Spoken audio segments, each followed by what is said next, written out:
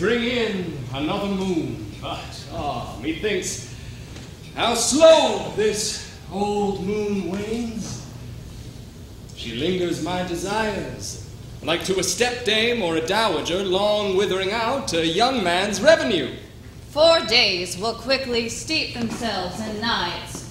Four nights will quickly dream away the time, and then the moon, like to a silver bow new bent in heaven, shall behold the night of our solemnities. Uh, go, Philostrate! Stir up the Athenian youth to merriments. Awake the pert and nimble spirit of mirth. Turn melancholy forth to funerals. The pale companion is not for our pomp. Hippolyta,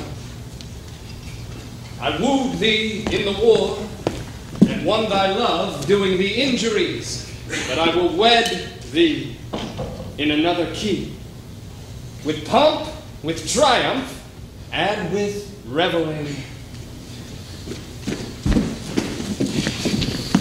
Happy be Theseus, our renowned Duke. Caius, good Egeus, what's the news with thee? Full of vexation come I with complaint against my child, my daughter Hermia.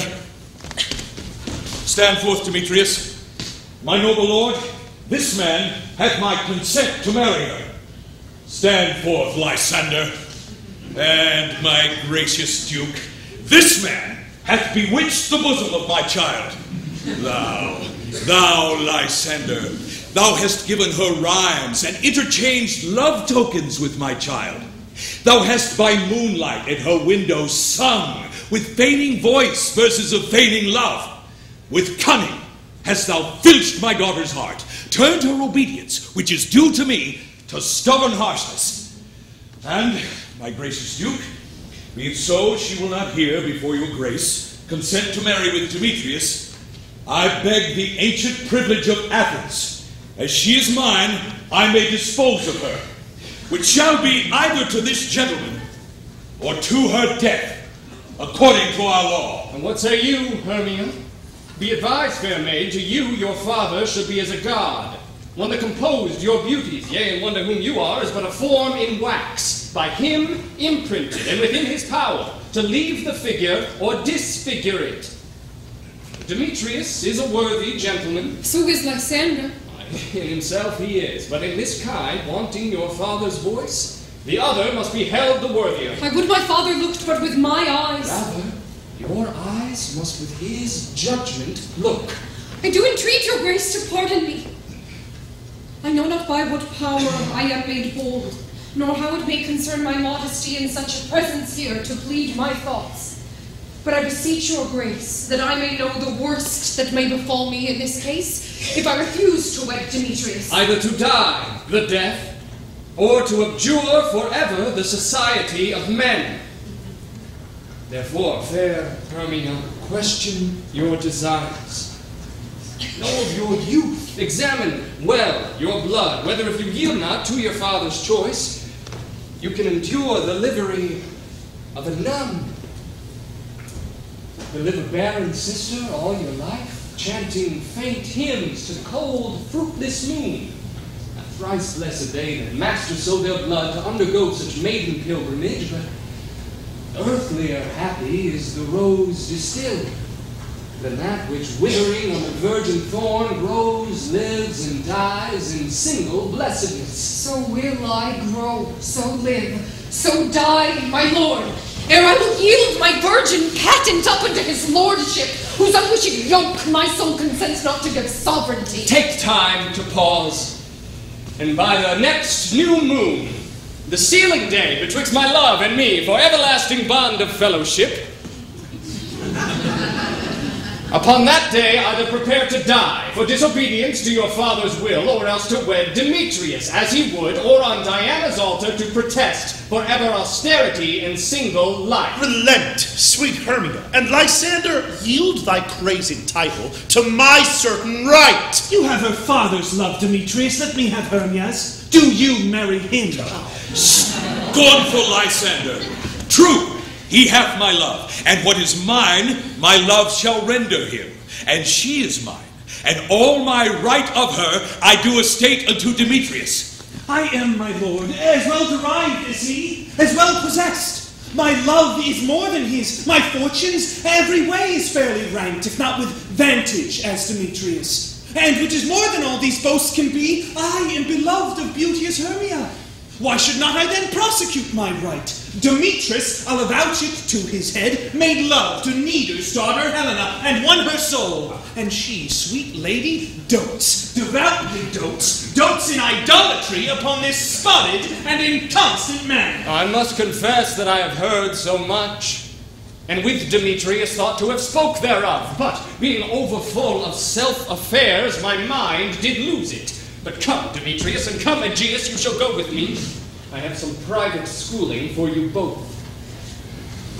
For you, fair Hermia, look you arm yourself to fit your fancies to your father's will, or else the law of Athens yields you up, which by no means we may extenuate, to death, or to a vow of single life. Come, my Hippolyta. what cheer, my love? Demetrius and Egeus go along. I must employ you in some business against our nuptial and confer with you of something nearly that concerns yourselves. With duty and desire we follow you.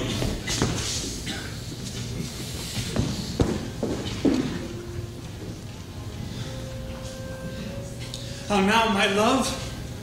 Why is your cheek so pale? How chance the roses there to fade so fast? Like for want of rain, which I could well beteem them from the tempest of my eyes. Ay me.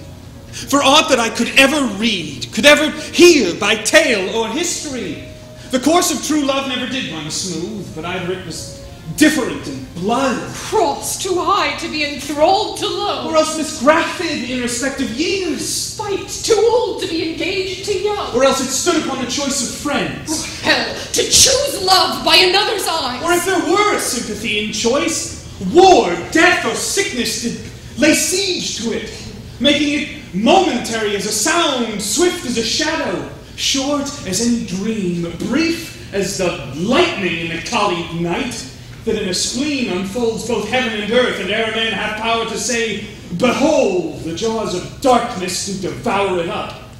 So quick bright things come to confusion. Then true lovers have been ever crossed. It stands as an edict in destiny.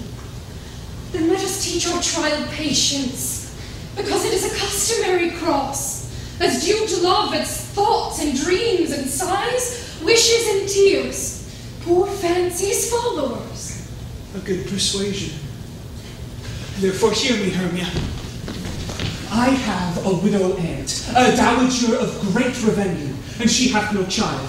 From Athens is her house remote seven leagues, and she respects me as her only son.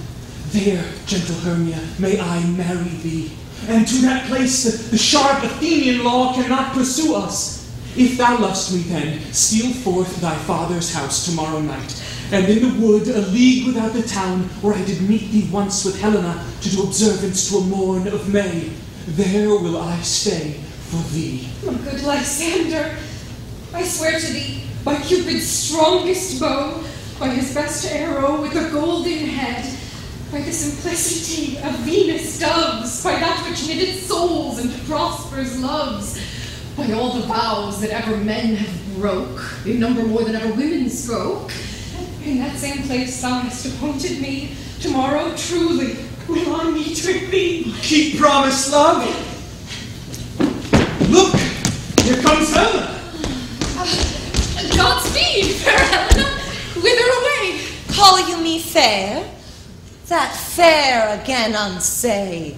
Demetrius loves your fair. Oh, happy fair. Your eyes are lodestars, your tongue sweet air, more tunable than lark to shepherd's ear. When wheat is green, when hawthorn buds appear, sickness is catching. Oh, were favor so, yours would I catch fair Hermia ere I go. My ear should catch your voice, my eye your eye, my tongue should catch your tongue sweet melody. Were the world mine, Demetrius being baited, the rest I would give to be to you translated. Teach me how you look, and with what art you sway the motion of Demetrius' heart.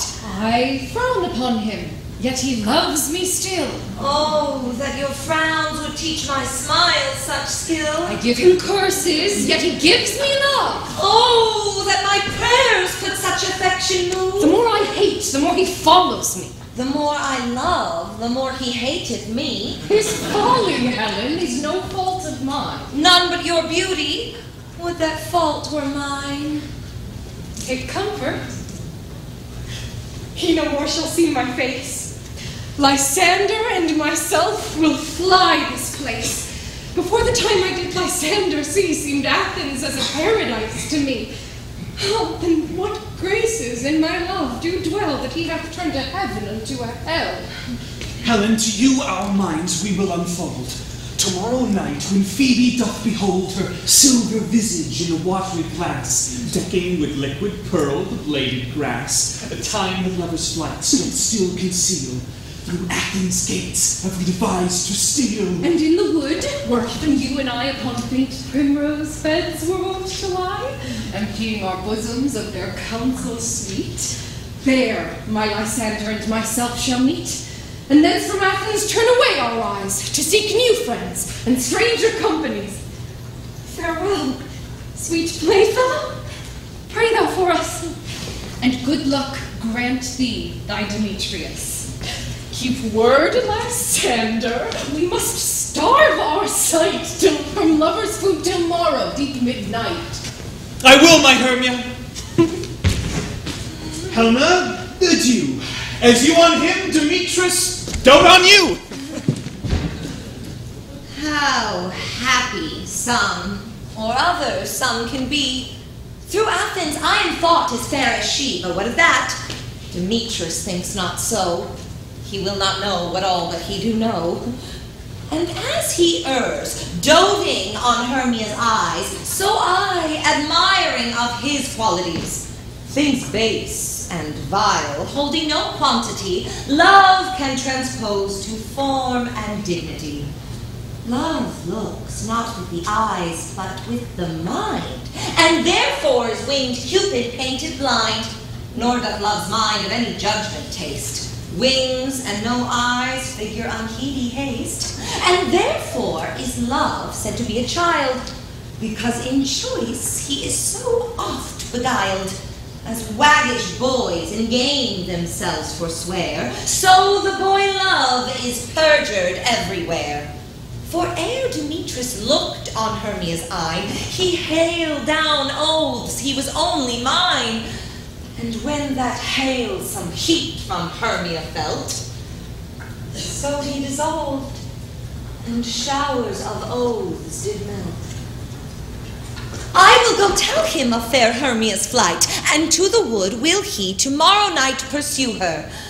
And for this intelligence, if there be thanks, it is a dear expense. But herein mean I to enrich my pain, to have his sight thither and back again.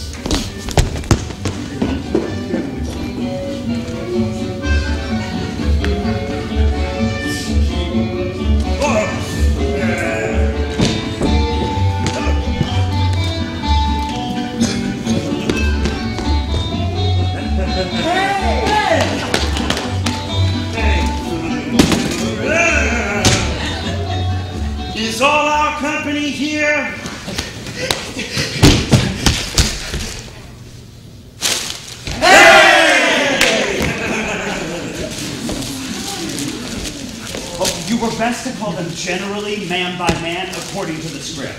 Here is the scroll of every man's name, which is thought fit through all of Athens to play in our interlude before the Duke and Duchess on his wedding day night. First, good Peter Quince, say what the play treats on, then read the names of the actors and so grow to a point. Nay, our play is the most lamentable comedy and cruel death of Pyramus and Thisbe. Huh? No, it's a very good piece of work, I assure you, and a merry. now, good Peter Quince, call forth the actors by the scroll. Masters, spread yourselves. Answer as I call you, uh, Nick Bottom the Weaver. Ready? Name what part I am for and proceed. You, Nick Bottom, are down for Pyramus. What is Pyramus? Is he a lover or tyrant? A lover that kills himself most gallant for love. That will ask some tears in the true performing of it. If I do it, let the audience look to their eyes. I will move storms. I will condole in some measure. to the rest. Yet my chief humor is for a tyrant, though I could play Hercules rarely, a part to tear a cat in, to make all split.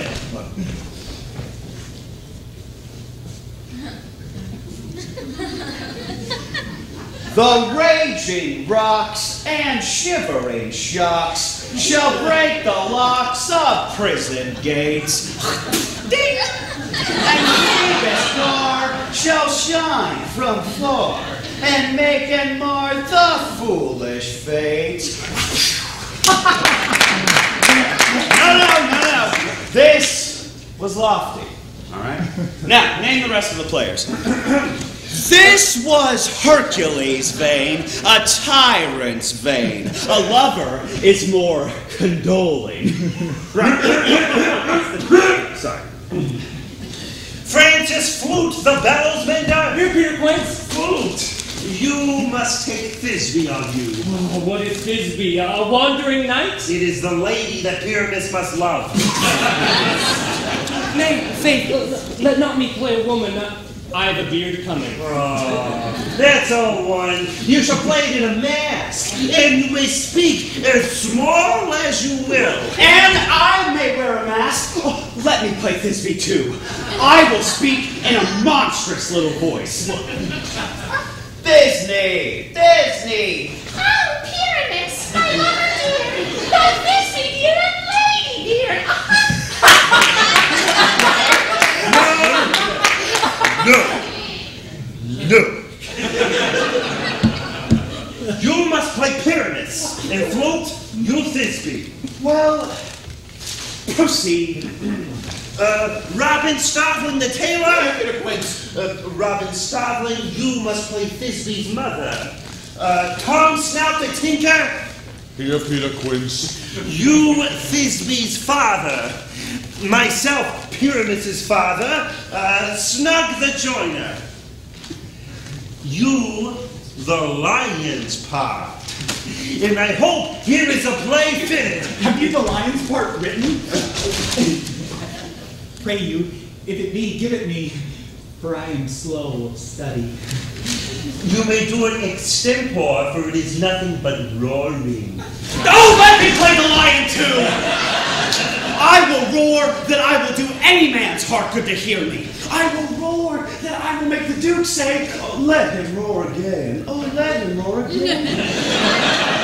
And you should do it too terrible. You fright the Duchess and the ladies that they would shriek and ever enough to hang us all. Oh, Look, I grant you, friends, if you should fright the ladies out of their wits, they would have no more discretion but to hang us. But I will aggravate my voice so that I will roar you as gently as any baby dove. I will roar you and twere any nightingale.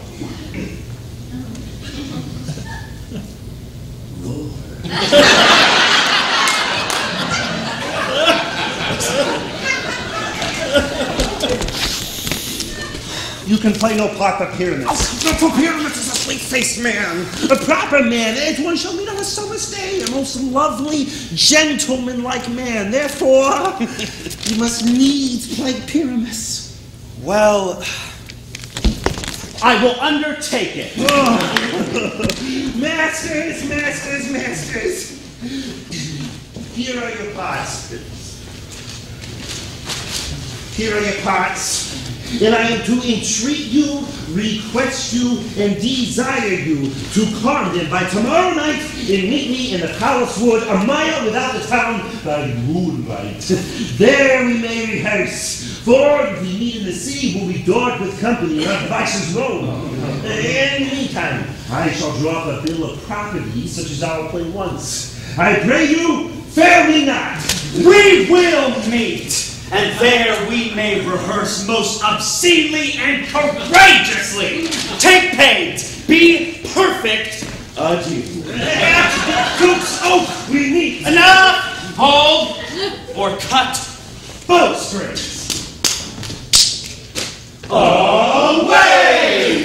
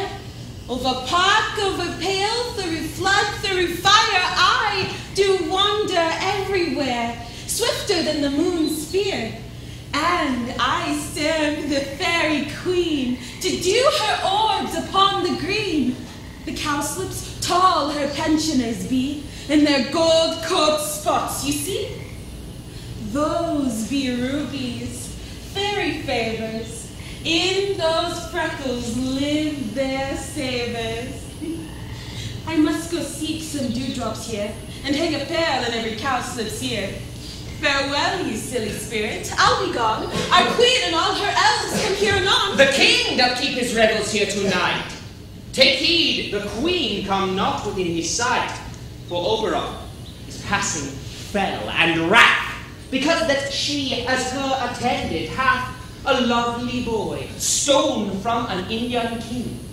She never had so sweet a changeling, and jealous Oberon would have the child, knight of his train, to trace the forest wild. But she perforce withholds the loved boy, crowns him with flowers, and makes him all her joy. And now they never meet in grove or green, by fountain clear or spangled starlight sheen, but they do square, and all their elves for fear creep into acorn cups and hide them there. Either I mistake your shape in making quite, or else you are that shrewd and knavish sprite called Robin Goodfellow. Are not you he that frights the maidens of the villagry, skim milk and sometimes labor in the quern, and bootless makes the breathless housewife churn, and sometimes makes the beer to have no foam, mislead night wanderers laughing at their harm. Those that hobgoblin call you and sweet puck, you do their work and they shall have good luck. Are not you he? Thou speakst aright. I am that merry wanderer of the night. I jest to Oberon and make him smile when I, a fat and bean-fed horse, beguile, neighing in likeness of a filly foal. And sometime lurk I in a gossip's bowl in very likeness of a roasted crab. And when she drinks, Against her lips, I bob, and on her withered dewlap pour the ale. The wisest ant, telling the saddest tale. Sometime a three-foot stool mistaketh me. Then slip I from her bum, down double she, and my mum she cries, and falls into a cough, and all the choir hold their hips and laugh and waxen in their mud, and knees and swear. Oh, a merrier hour was never wasted there. But room, fairy, here comes Oberon. And here my mistress, would that he were gone!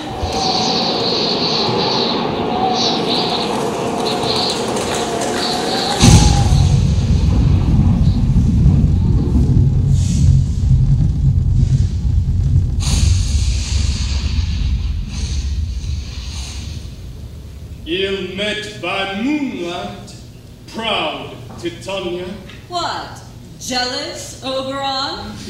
Various skip I have forsworn his bed and company. Tarry! Rash wanton! Am not I thy lord? Then I must be thy lady. but I know when thou hast stolen away from fairyland, and in the shape of Corin sat all day, playing on pipes of corn and versing love to amorous Philida. Why art thou here, come from the farthest steep of India? But that forsooth, the bouncing Amazon Hippolyta, your buskin's mistress and warrior love, to Theseus must be wedded, and you've come to give their bed joy and prosperity. How canst thou thus for shame, Titania? Glance at my credit with Hippolyta, knowing I know thy love to Theseus. Didst not thou lead him through the glimmering night from Perigenia, whom he ravished? And make him from Beglis break his faith with Ariadne and Antiope? These are the forgeries of jealousy. And never since the middle summer spring met we on hill, in dale, forest, or mead, by paved fountain or by rushy brook, or in the beached margins of the sea, to dance our ringlets to the whistling wind, but with thy brawls thou hast disturbed our sport.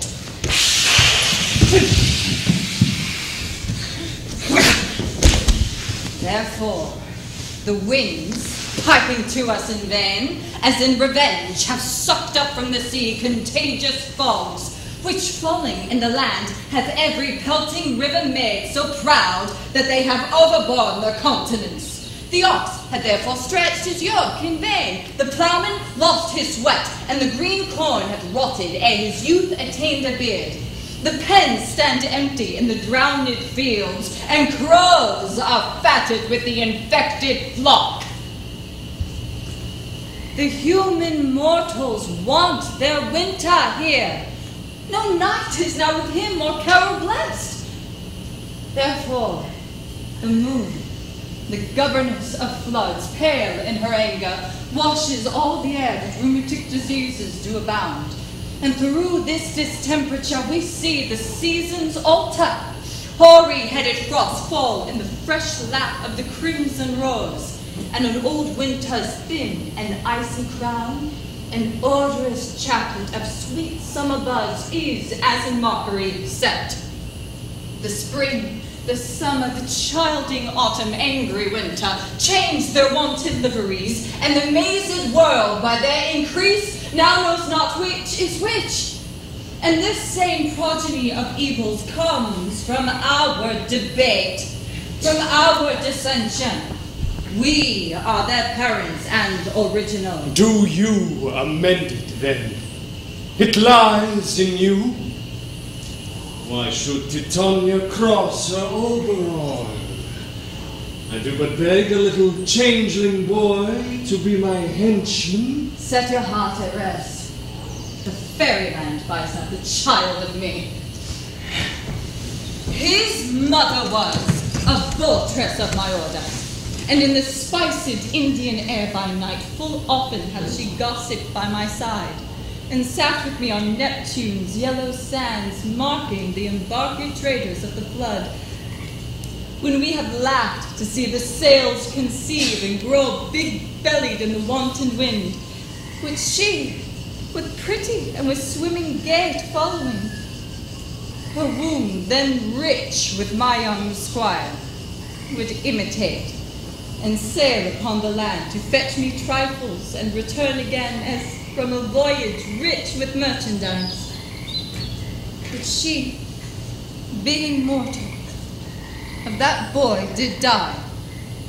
And for her sake do I rear up her boy. And for her sake I will not part with him. How long within this wood intend you stay? Perchance till after Theseus' wedding day? If you will patiently dance in our round and see our moonlight revels, go with us. If not, shun me and I will spare your haunts. Give me that boy, and I will go with thee. Not for thy fairy kingdom! Fairies, away! We shall try down right if I longer stay.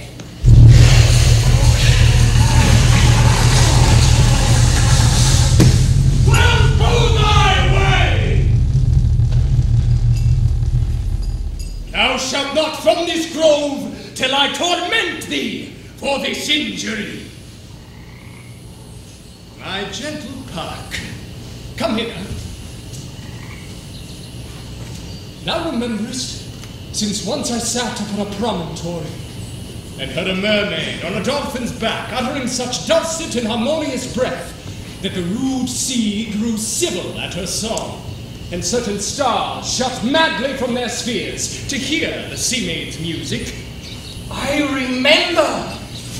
That very time I saw, but thou couldst not, flying between the cold moon and the earth, Cupid, all armed. A certain aim he took at a fair virgin throned by the west, and loosed his love shaft smartly from his bow as it should pierce a hundred thousand hearts.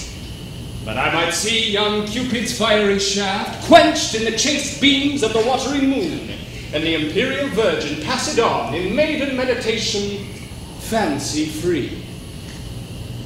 But marked I where the bolt of Cupid fell. It fell upon a little western flower. Before milk white, now purple with love's wound, and maidens call it love in idleness. Fetch me that flower. The herb I showed thee once, the juice of it on sleeping eyelids laid will make a man or woman madly dote upon the next live creature that it sees. Fetch me that herb, and be thou here again ere the Leviathan can swim a league. I'll put a girdle round about the earth in forty minutes. Once this juice, I'll watch Titania when she is asleep and drop the liquor of it in her eye.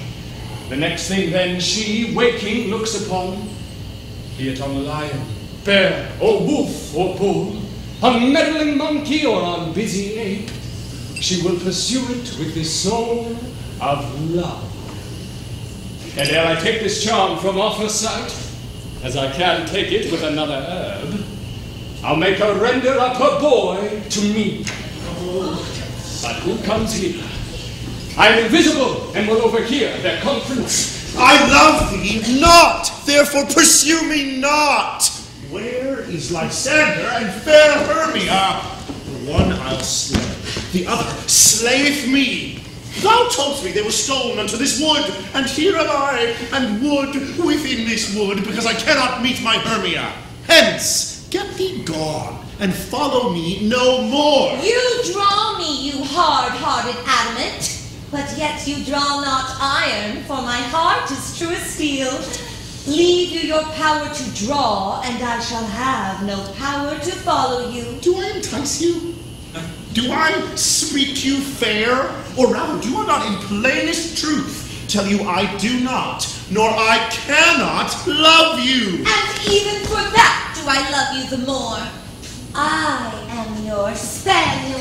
And Demetrius, The more you beat me, I will fawn on you. Use me but as your spaniel. Spurn me, strike me, neglect me, lose me. Only give me leave, unworthy as I am, to follow you. What worser place can I beg in your love, and yet a place of high respect with me, than to be used as you use your dog? Oh.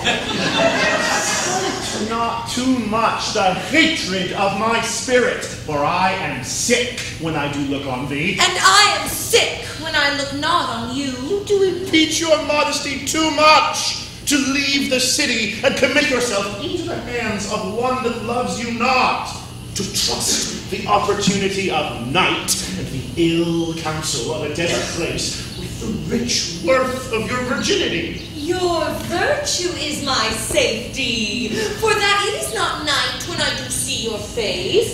Therefore I think I am not in the night, nor doth this wood lack worlds of company. For you, in my respect, are all the world. Then how can it be said that I am alone when all the world is here to look on me? Right. I'll run from thee and hide me in the brakes leave thee to the mercy of wild beasts. The wildest hath not such a heart as you. Run when you will. The story will be changed. Oh! Apollo flies and Daphne holds the chase. I will not stay thy questions. Let me go.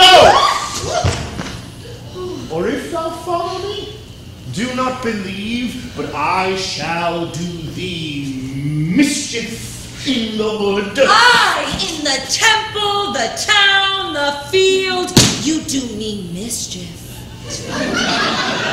Fly, Demetrius, your wrongs do set a scandal on my sex. We cannot fight for love as men may do. We should be wooed, and we're not made to woo. oh, I'll follow thee and make a heaven of hell to die upon the hand I love so well. Fare thee well, nymph. Ere he do leave this grove, thou shalt fly him, and he shall seek thy love. Welcome, wanderer. Hast thou the flower there? Aye, there it is. I pray thee, give it me. I know a bank where the wild thyme blows, where oxlips and the nodding violet grows, quite o'er-canopied with luscious woodbine, with sweet musk roses, and with eglantine. There sleeps Titania some time of the night, lulled in these flowers with dances and delight. And there the snake throws his enameled skin weed wide enough to wrap a fairy in, and with the juice of this, I'll streak her eyes and make her full of hateful fantasy. Take thou some of it, and seek through this grove. A sweet Athenian lady is in love with a disdainful youth. Anoint his eyes, but do it when the next thing he espies may be the lady. And thou shalt know the man by the Athenian garments he hath on. Effect it with some care, that he may prove more fond on her than she upon her love. And look thou meet me ere the first cock crow. Fear not, my lord, your servant shall do so.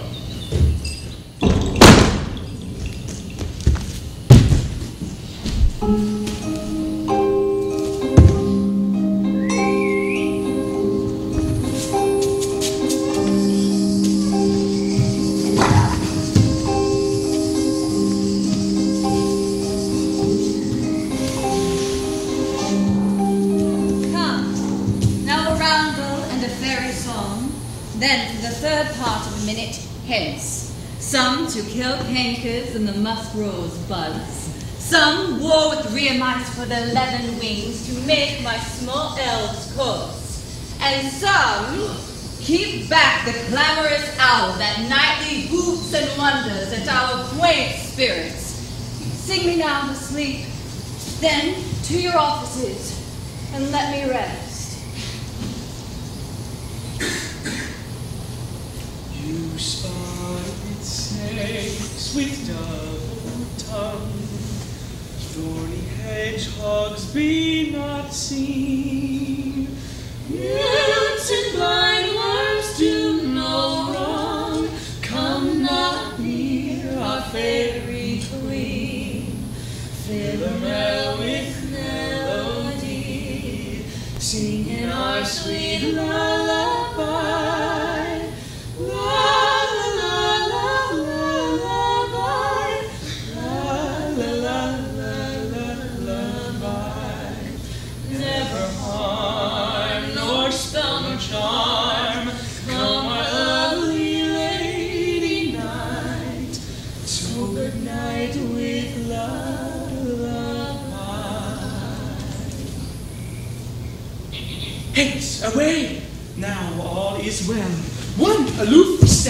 sentinel.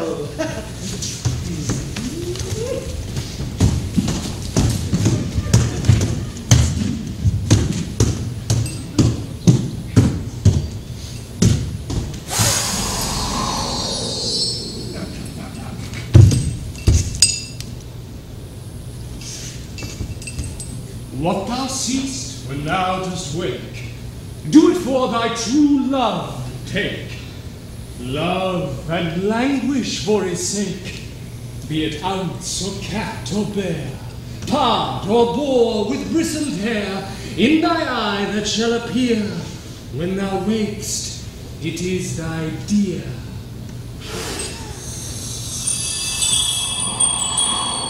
Wake when some vile thing is near.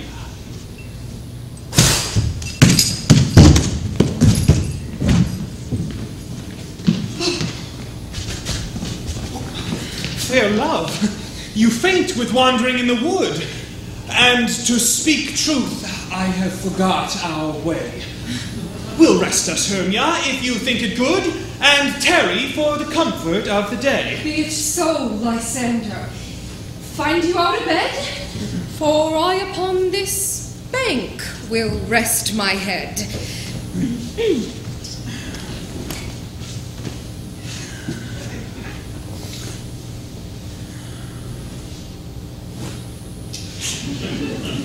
One turf shall serve as pillow for us both. One heart, one bed, two bosoms, and one troth. Nay, my good Lysander. For my sake, my dear, lie further off yet. Do not lie so near. Oh, take the sense, sweet, of my innocence. Love takes the meaning in love's conference. I mean that my heart unto yours is knit, so that but one heart we can make of it. Two bosoms interchained with an oath, so then two bosoms in a single troth. Then by your side no bedroom me deny, for lying so, Hermia, I do not lie. Lysander riddles very prettily. Oh, now much beshrew my manners and my pride if Hermia meant to say Lysander lied. But, gentle friend, for love and courtesy, lie further off in human modesty.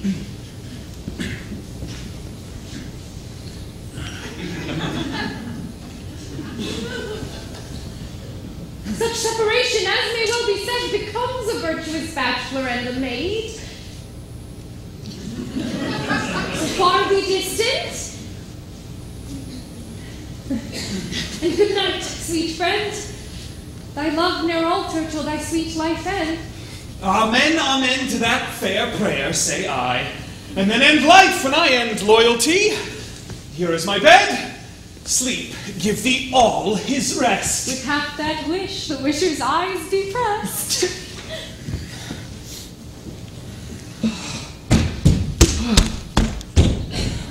Through the forest have I gone, but Athenian found I none, on whose eyes I might approve this flower's force in stirring love. Night and silence! Who is here? Weeds of Athens he doth wear. This is he, my master said, despised the Athenian maid. And here the maiden, sleeping sound on the damp and dirty ground. Pretty soul, she does not lie near this lack love, this kill courtesy. Churl, upon thy eyes I throw all the power this charm doth owe. When thou wakest, let love forbid sleep his seat on thy eyelid. So awake when I am gone, for I must now to Oberon. Stay! No, don't kill me, sweet Demetrius! Charge thee hence, and do not haunt me thus. Oh, wilt thou darkling leave me? Do not so. On thy peril, I alone will go. Oh. I am out of breath in this fond chase. The more my prayer, the lesser is my grace. Happy is Hermia, wheresoe'er she lies, for she hath blessed and attractive eyes. How came her eyes so bright? Not with salt tears. If so, mine are oftener washed than hers. No, no, I am ugly as a bear. For beasts that meet me run away for fear. Therefore, no marvel though Demetrius do as a monster fly my presence thus. What wicked and dissembling glance of mine made me compare with Hermia's fiery eye? But who is here? Lysander on the ground? Dead? Or asleep? I see no blood, no wound. Lysander, if you live, good sir, awake. And run through fire I will for thy sweet sake. Oh, transparent Helena, nature shows art that through thy bosom makes me see thy heart. Where is Demetrius? Oh, how fit a word is that vile name to perish at my hands. Do not say so, Lysander, say not so. What, though he love your Hermia? Lord, what though? Yet Hermia still loves you, then be content. Oh, content with Hermia? No, I do repent the tedious minutes I with her have spent. Not Hermia, but Helena I love, who will not change a raven for a dove. The will of man is by his reason swayed, and reason says you are the worthier maid. The things growing are not ripe until their season. So I, being young till now, ripe not to reason. And touching now the point of human skill, reason becomes the marshal to my will, and leads me to your eyes where I own love stories written in love's richest book. Wherefore was Keen mockery born? When at your hand did I deserve such scorn? It's not enough? Is not enough, young man, that I did never know nor never can deserve a sweet look from Demetrius' eye, but you must flout my insufficiency? Good troth, you do me wrong. Good sooth, you do, in such disdainful manner me to woo. But fare you well. Perforce, I must confess, I thought you lord of more true gentleness. Oh, that a lady of one man refused should of another therefore be abused? She sees not Hermia.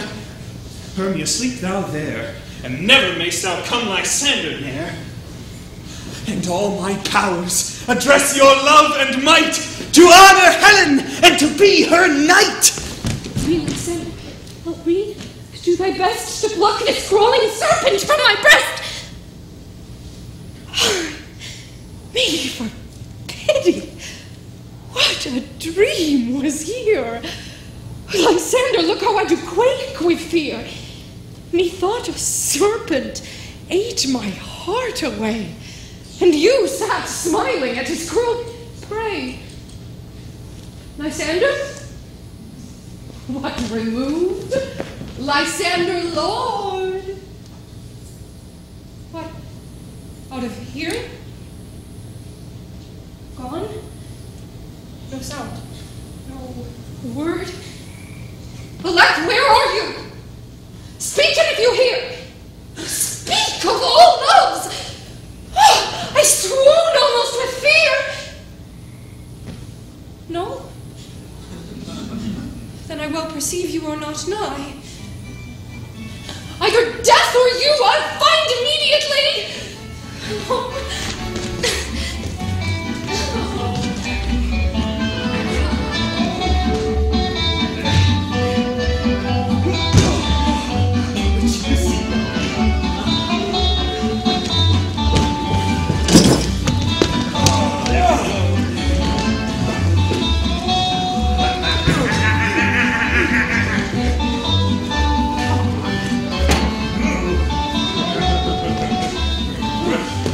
Are we all met?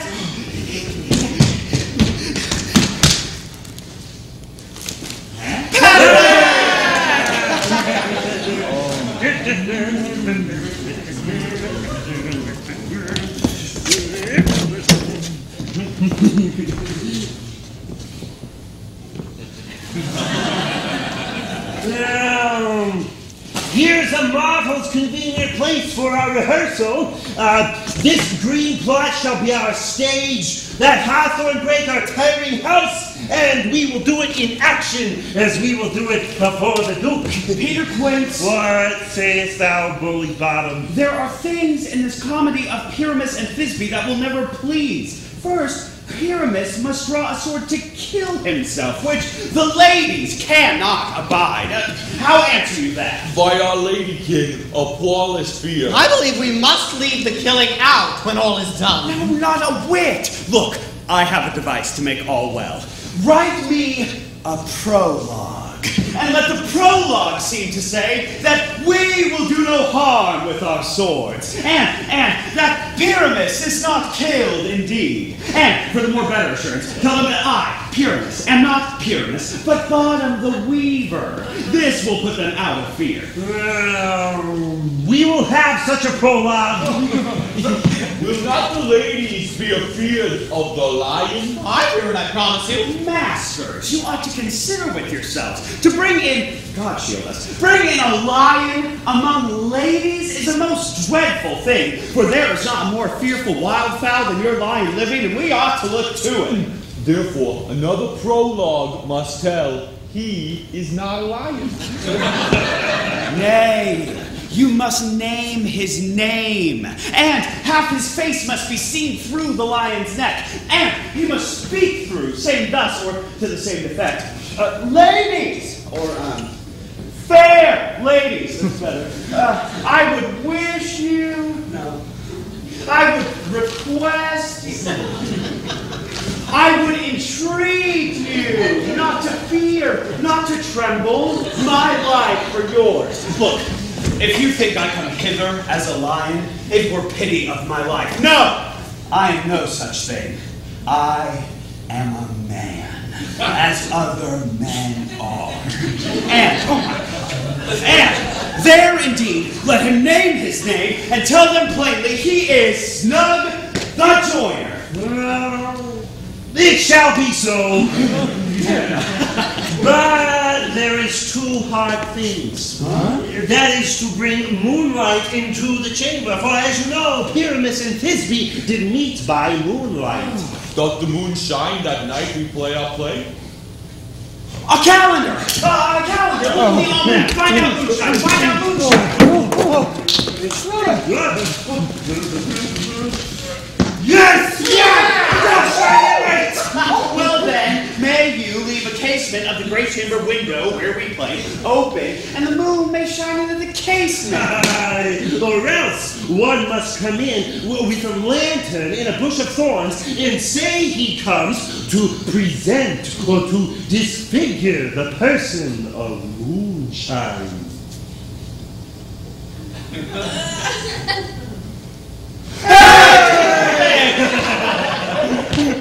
And there is another thing. That is to bring a wall into the chamber. For Pyramus and Thisbe, thus says the story, uh, did talk through the chink of a wall. You can never bring in a wall. What say you, Bottom? Some man or other must present Wall. And, and let him have some uh, some plaster or some some loam or, or some rough cast about him to signify Wall. and, and let him hold his fingers uh, uh, thus, and through that cranny shall Pyramus and Thisbe whisper. If that may be, then all is well. Come, sit down, every mother's son, and rehearse your parts. Oh. Pyramus, you begin. Uh, when you have spoken your speech, enter into that brake, and so every man according to his cue.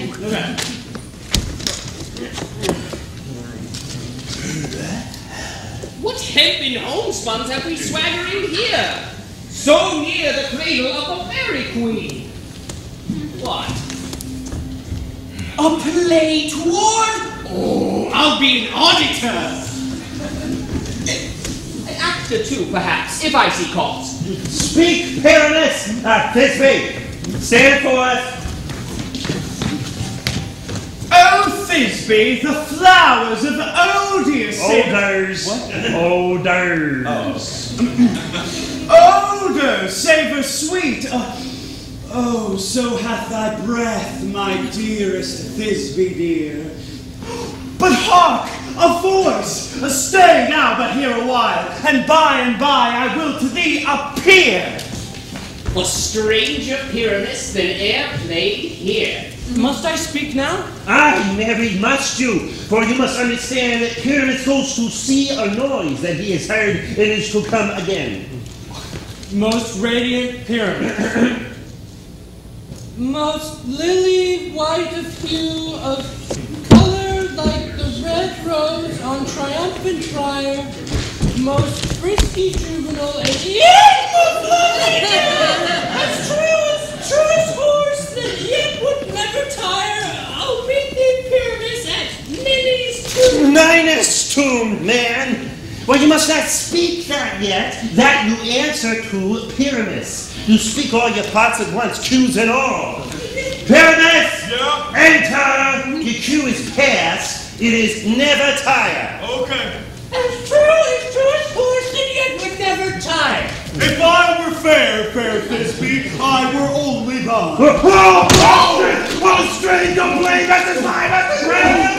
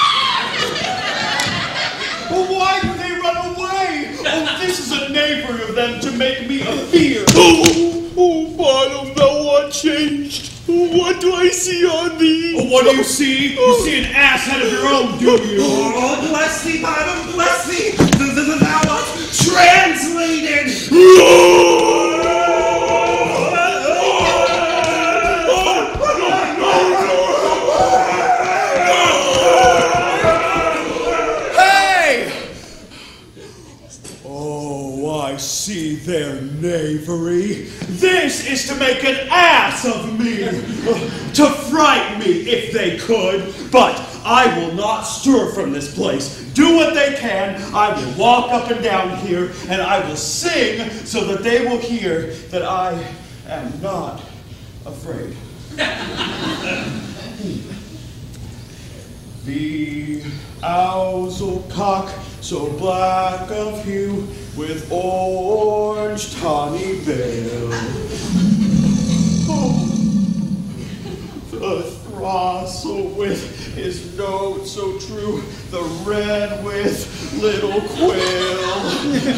What angel wakes me from my flowery bed?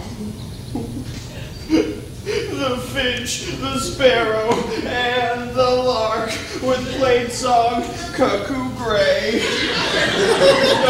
Full many a man doth mark and dares not answer nay. I pray thee, gentle mortal, sing again. Mine ear is much enamored of thy note, So is mine eye enthralled to thy shape, and thy fair virtues first perforce doth move me on the first view to say, to swear, I love thee. Methinks, mistress, you should have little reason for that. well, well, to say the truth, uh, reason and love keep little company together nowadays. Uh, the more the pity that some honest neighbors will not make them friends. Nay, I can joke upon occasion. Thou art wise, as thou art beautiful. Not so neither. but if I had wit enough to get out of this wood, I have enough to serve my own turn. Out of this wood! Do not desire to go. Thou shalt remain here whether thou wilt or no. I am a spirit of no common rate. The summer still doth tend upon my state, and I do love thee. Therefore, go with me. I'll give thee fairies to attend on thee, and they shall fetch thee jewels from the deep, and sing to thee while thou on pressed flowers dost sleep. And I shall purge thy mortal grossness so that thou shalt like an airy spirit go. Peaseblossom, cobweb, moth, and mustard seed. Debbie!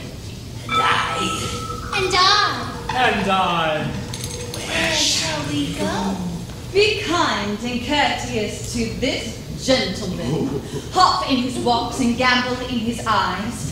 Feed him with apricots and dewberries, with purple grapes, green figs, and mulberries. The honey bags steal from the humble bees, and the night tapers crop their waxen thighs and light them at the fiery glowworm's eyes. To have my love to bed and to arise and pluck the wings from painted butterflies to fan the moonbeams from his sleeping eyes. Not to him elves and do him courtesies. Hail, Martel! Hail! Hail! Hail! I cry your worship's mercy heartily. Oh, I beseech your worship's name. Cobweb. I shall desire you of more acquaintance, good Master Cobweb. If I cut my finger, I shall make bold with you. uh, uh, your name, I beseech you, sir. Peaseblossom! Oh, I pray you, commend me to Mistress Squash, your mother, and to Master Peascod, your father. Oh, oh, I shall desire you of more acquaintance too. Uh, your name, honest gentleman. Mustard seed. Oh, good Master Mustard Seed, I know your patience well. That same cowardly, giant-like ox beef hath devoured many a gentleman of your house. Oh, I promise you, your kindred hath made my eyes water ere now. I shall desire you of more acquaintance, good Master Mustard Seed. Come, wait upon him, lead him to my bower. The moon, methinks, looks with a watery eye, and when she weeps, weeps every little flower, lamenting some enforced chastity. Tie up my lover's tongue. Bring him silently.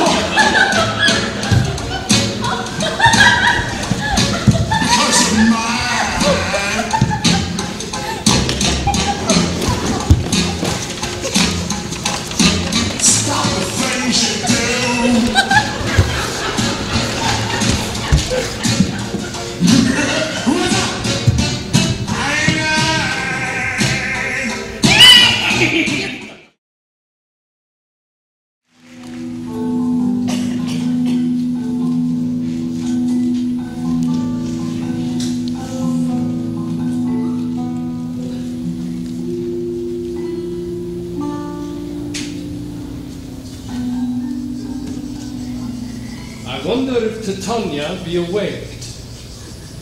Then what it was that next came in her eye, which she must dote on in extremity. Here comes my messenger. How now, mad spirit? What night rule now about this haunted grove? My mistress with a monster is in love. Oh, to, near to her close and consecrated bower, while she was in her dull and sleeping hour, a crew of patches, rude mechanicals that work for bread upon Athenian shops, were met together to rehearse a play intended for great Theseus' nuptial day. The shallowest thick-skin of that parent saw two Pyramus presented in their sport, forsook his scene, and entered in the brake when I did him at this advantage take an ass's knoll. I fix it on his head. Anon, his Thisbe must be answered, and forth my mimic comes.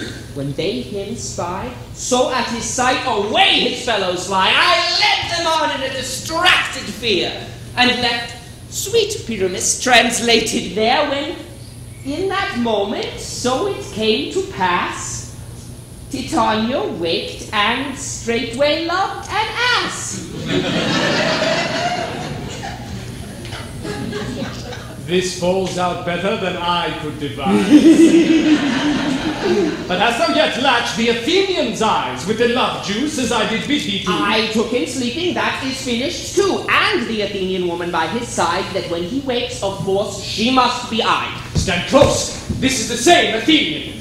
This is the woman, but not this the man. Oh, why refuse you him that loves you so? Lay breath so bitter on your bitter foe. Now I would chide, but I should use thee worse. For thou, I fear, hast given me cause to curse. If thou hast slain Lysander in his sleep, been more shoes in blood, plunge in the deep and kill me too. The sun was not so true into the day as he to me.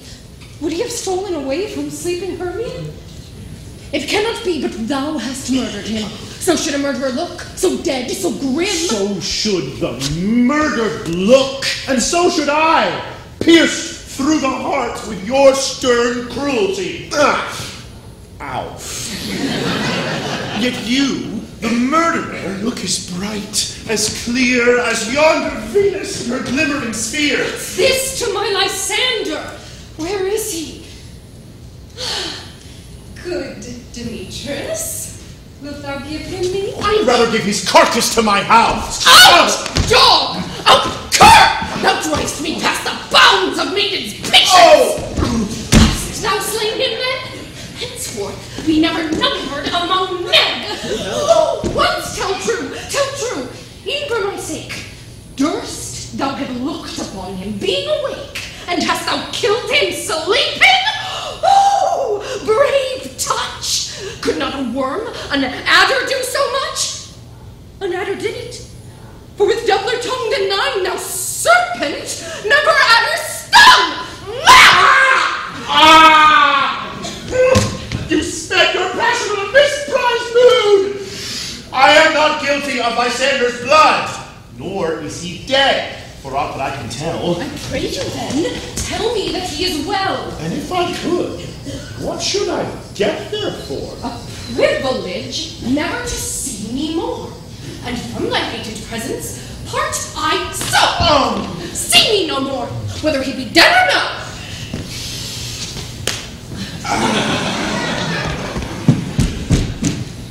There is no following her in this fierce vein. Here, therefore, for a while, I will remain.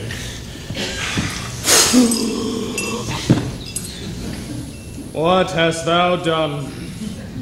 Thou hast mistaken quite, and laid the love juice on some true love sight. Of thy misprision must perforce ensue some true love turned, and not a false turned true. Then fate o'errules that one man holding troth, a million fail, confounding oath on oath. About the wood go swifter than the wind, and Helena of Athens look thou find. By some illusion see thou bring her here. I'll charm his eyes against she do appear. I go. I go. Look how I go. Swifter than arrow from the Tartar's bow! Flower of this purple dye, hit with Cupid's archery, sink in apple of his eye. When his love he doth espy, let her shine as gloriously as the Venus of the sky. When thou wakest, if she be by, beg of her for remedy. Captain of our ferry band, Helena is here at hand, and the youth is took by me, pleading for a lover's fee. Shall we their fond pageant see, Lord? What fools these mortals be! Stand aside, the noise they make will cause Demetrius to awake. Then will two at once woo one. That must needs be sport alone, and these things do best please me that before preposterously. Why should you think that I should woo in scorn? A scorn and derision never come in tears. Look, when I vow, I weep. And vows so born in their nativity, all truth appears. How can these things in me seem scorn to you, bearing the badge of faith to prove them true? You do advance your cunning more and more. When truth kills truth, oh, devilish holy fray, these vows are Hermia's. Will you give her o'er? Weigh oath with oath, and you will nothing weigh. Your vows to her and me, put in two scales, will even weigh. And both as light as tails. I have no judgment went to her, I swore. Nor none in my mind. Now you give her o'er. Demetrius loves her, and he loves not you. Oh! oh, heaven! Goddess! Nymph! Perfect! Divine! To what, my love, shall I compare thine eyne? Crystal is muddy. Oh, how ripe and show thy lips, those kissing cherries, tempting, grow. Thy pure concealed white, high Taurus snow, fanned with the eastern wind, turns to a crow when thou holdst up thy hand. Oh, let me kiss this princess of pure white, this seal of bliss. Oh, spite!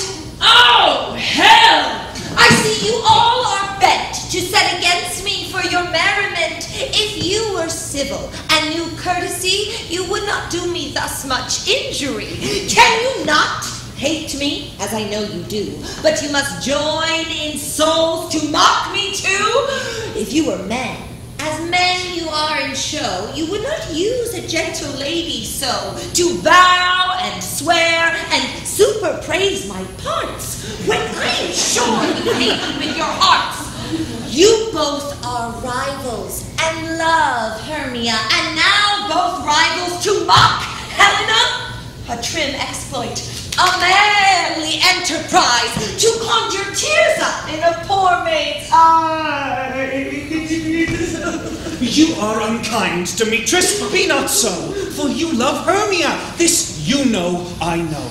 And here, with all goodwill, with all my heart, in Hermia's love, I yield you up my part. Uh, and yours of Helena to me bequeath, whom I do love, and will do till my death. Never did mockers waste more idle breath. Lysander, keep thy Hermia, I will none. If ere I loved her, all that love is gone. My heart to her but as guestwise sojourned, and now to Helen it is home returned, there to remain. Helen, it is not so. Disparage not the faith thou dost not know, lest to thy peril thou pay for it dear. Look where thy love comes, yonder is thy tear. Oh, thou art not by mine eye, Lysander found. Mine ear, I thank it, brought me to thy sound. But why unkindly didst thou leave me so? Why should he stay whom love doth press to go? What love could press Lysander from my side? Lysander's love that would not let him bide, fair Helena, who more engilds the night than all yon fiery stars and eyes of light. Why seekst thou me? Could this not make thee know the hate I bear thee made me leave thee so? Speak not as you think, it cannot be. Lo! She is one of this confederacy. now I perceive they have conjoined all three to fashion this false sport in spite of me. Oh, injurious Hermia. Most ungrateful maid, have you conspired? Have you with these contrived to bait me with this foul derision? Is all the hours we have spent, the sisters' vows, the hours we have chid the hasty foot of time for parting us, all is all forgot? All school days friendship, childhood innocence? We, Hermia, like two artificial gods, have with our needles created both one flower both on one sampler, both sitting on one cushion, both warbling of one song, both in one key, as though our hands, our sides, voices, and minds had been incorporate. So we grew together, like to a double cherry, seeming parted, but yet an union in partition. Two lovely berries, molded on one stem, so with two seeming bodies, but one heart. Hmm. Two of the first, like coats in heraldry, due but to one, and crowned with one crest. And would you rent our ancient love asunder to join with men in scorning your poor friend? It is not friendly. Tis not maidenly. Our sex, as well as I, may chide you for it, though I alone do feel the injury. I am amazed at your words. I scorn you not. Ah. Oh, it seems that you scorn me. Have you not set Lysander, as in scorn, to follow me and praise my eyes and face, and made your other love, Demetrius, who even but now did spurn me with his foot, to call me goddess, nymph, divine and rare, precious, celestial? Wherefore speaks he this to her he hates? And wherefore doth Lysander deny your love, so rich within his soul and tender me? Forsooth, affection, but by your setting on, by your consent. I understand not what you mean by this. I do persever. Counterfeit sad looks make mouths upon me when I turn my back. Wink each other. the sweet jest. Ah, this sport, well carried, shall be chronicled. If you have any pity, grace, or manners, you would not make me such an argument. But fare you well. Perforce! I must confess. Stay, gentle Helena! Hear my excuse. My love, my life, my soul, sweet Helena! Oh, excellent! Please do not scorn her so. If she cannot entreat, I can compel. Thou canst compel no more than she entreat. Thy threats have no more strength than her weak prayers. Helen, I love thee. By my life I do. I swear by that which I will lose for thee, to prove him false that says I love thee not. I say I love thee more than he can do. If thou say so, withdraw and prove it too. Oh, quick! Come! Lysander, where to pencil this? Why, you Ethiop? No, no! He'll seem to break loose. Take on as you follow, but yet come not. You are a tame man. Go! Off, thou cat, thou bear! Vile thing that loose, or I will shake thee from me like a serpent! You grow so rude. What change is this we love? Thy love? Out, tawny Tartar! Out, loathed, mention, or hated potion! Hence!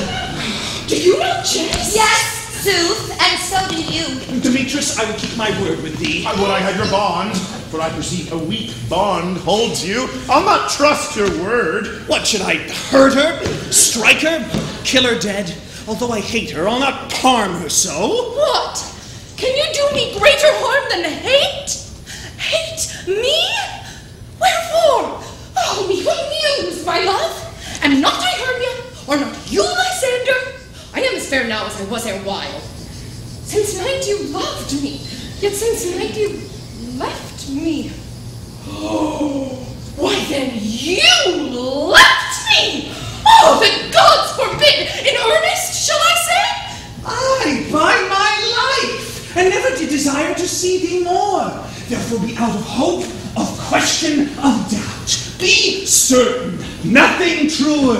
Tis no jest that I do hate thee and love Helena. Me! You! Juggler! You! Canker blossom! You! Thief of love! What? Have you come by night and stolen my love's heart from him? Fine, if faith. Have you no modesty, no maiden shame, no touch of bashfulness? What? Will you tear impatient answers from my gentle tongue? Fine, you counterfeit! You puppet, you! Puppet? Why so? Aye, that way goes the game. Now I perceive that she hath made compare between our statures. She hath urged her height, and with her personage, her tall personage, her height, forsooth, she hath prevailed with him. And are you grown so high in his esteem because I am so dwarfish and so low? How low am I? Thou painted maypole. Speak! How low am I? I am not yet so low but that my nails can reach unto thine eyes! I pray you, though you love me, gentlemen, let not hurt me. I was never. I have no gift at all in shrewishness. I am a right maid in my cowardice. Let her. You may think because she's something lower than myself that I can match her. Lower? Look again! Good, Hermia. Not be so bitter with me. I did evermore love you. Did ever keep your counsel. Never wronged you. Save that for love unto Demetrius. I told him of your stealth into this wood. He followed you. For love, I followed him. But he hath chid me hence, and threatened me to spurn me, strike me, nay, to kill me too. And now, so you will let me quiet go. To Athens I will bear my folly back and follow you no further. Let me go. You see how simple and how fond I am. Get you gone! Who is't that hinders you? A foolish heart that I here leave behind. What, Lysander? Demetrius! Be not afraid, she shall not harm thee, Helena. Oh, sir, she shall not, though you take her part. Oh, when she is angry, she is keen and shrewd. She was a vixen when she was at school, and though she be but little, she is fierce. Little again? Nothing but low and littles? Why will you suffer her to bloat me thus? Let me come to her. Get you gone, you dwarf! You minimus of hindering nutgrass made you bead, you ache! You are too officious in her behalf that scorns your services. Let her alone. Speak not of Helena. Take not her part. For if thou dost intend never so little show of love to her, thou shalt abide it. Now she holds me not. Now follow, if thou darest, to try whose right of thine or mine is most in Helena. Follow? Nay, I'll go with thee. Cheek by jowl. You, mistress, all this coil is along of you.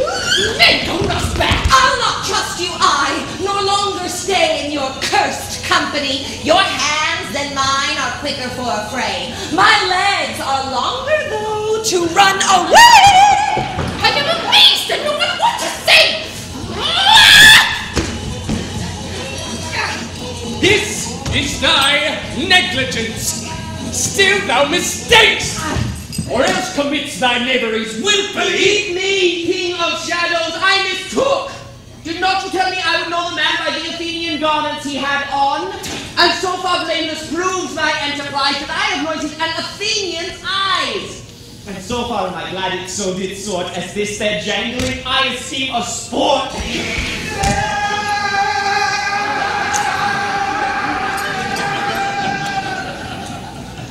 Thou seest these lovers seek a place to fight. I, therefore, Robin, overcast the night. The starry welkin cover thou anon with drooping fog as black as Acheron. And look thou lead these testy rivals so astray as one come not within another's way.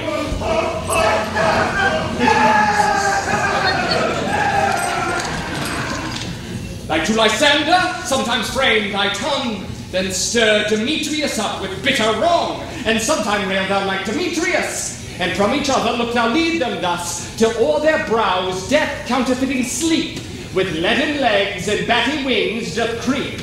Then crush this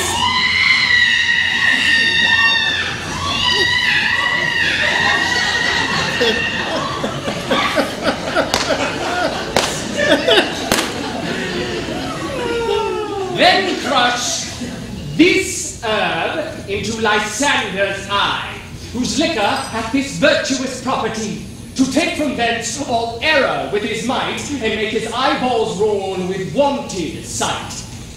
When they next wake, all this derision shall seem a dream, and fruitless vision. And back to Athens shall the lovers wend, with league whose date till death shall never end. Whilst I in this affair to thee employ, I'll to my queen, and beg her Indian boy, and then I will her child I release from monsters' view, and all things shall be peace. My fairy lord, this must be done with haste. For night's swift dragons cut the clouds full fast, and yonder shines Aurora's harbinger, at whose approach ghosts wandering here and there troop home to churchyards. Damn Damned spirits all that in crossways and floods have burial, already to their wormy beds are gone. But we are spirits of another sort. I with the morning's love have oft made sport. But notwithstanding haste, make no delay. We may effect this business yet ere day. Up and down, up and down. I shall lead them up and down. I am fear in field and town. Goblin lead them up and down. Here comes one. Where art thou, proud Demetrius? Speak thou now. Here, villain, drawn and ready. Where art thou? I shall be with thee straight. Follow me then to plainer ground. Lysander, speak again. Thou run away. Thou coward, art thou fled? What, in some bush? Where dost thou hide thy head? Thou coward! Art thou bragging to the stars, telling the bushes that thou look'st for wars? Hmm. And wilt not come? Come, recreant! Come, thou child! Hey, art thou there? Follow my voice, we'll try no manhood here! He goes before me, and still dares me on. When I come where he calls, then he is gone. The villain is much lighter heeled than I. I followed fast, but faster he can fly.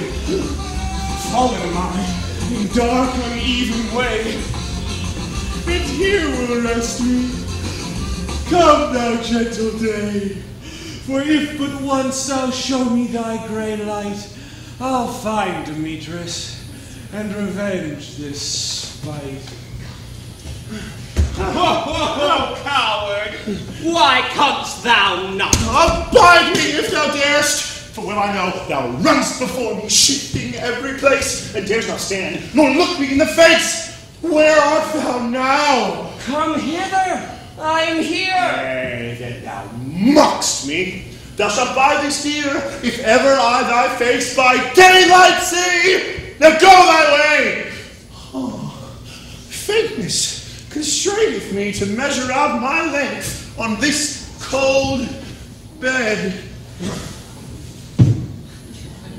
By day's approach, look to be visited!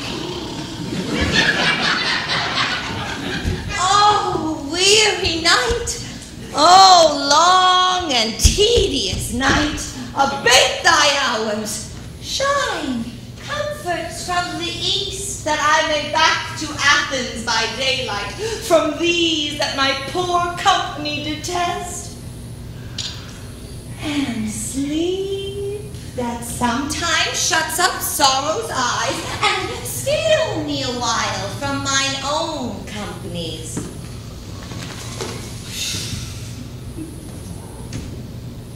Yet but three. Come one more, two of both kinds, make up four. Here she comes!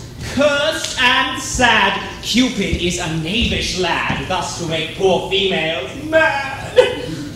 Never so weary, never so in woe, bedabbled with the dew and torn with briars. I can no further crawl, no further go. My legs can keep no pace with my desires. Here will I rest me till the break of day. Heavens, shield Lysander if they mean a fray. On the ground, sleep sound.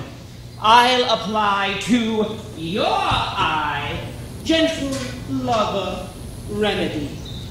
When thou weepst, thou takest true delight in the sight of thy former lady's eye.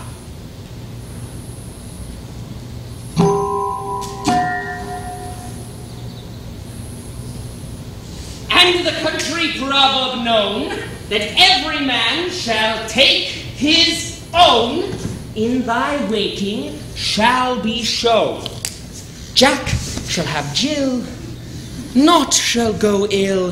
The man shall have his mare again, and all shall be well. Ah.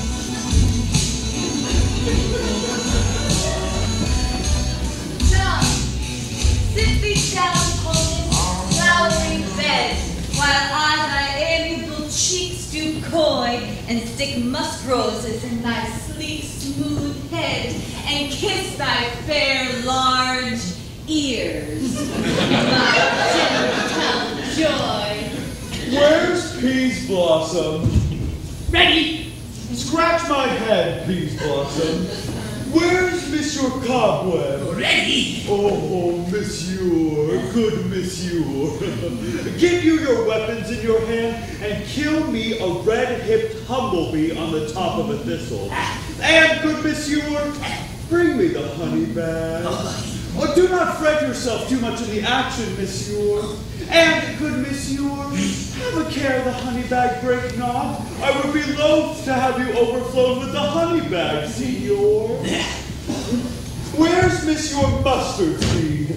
Ready. Give me your hand, Monsieur Mustard Seed. Oh, I pray you, leave your courtesy, good Monsieur. What is your will? Oh, nothing. But to help Cavalry Cobweb to scratch.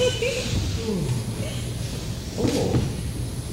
Must to the barber's, monsieur. For methinks I am marbles hairy about the face. And I am such a tender ass, if my hair do but tickle me, I must scratch.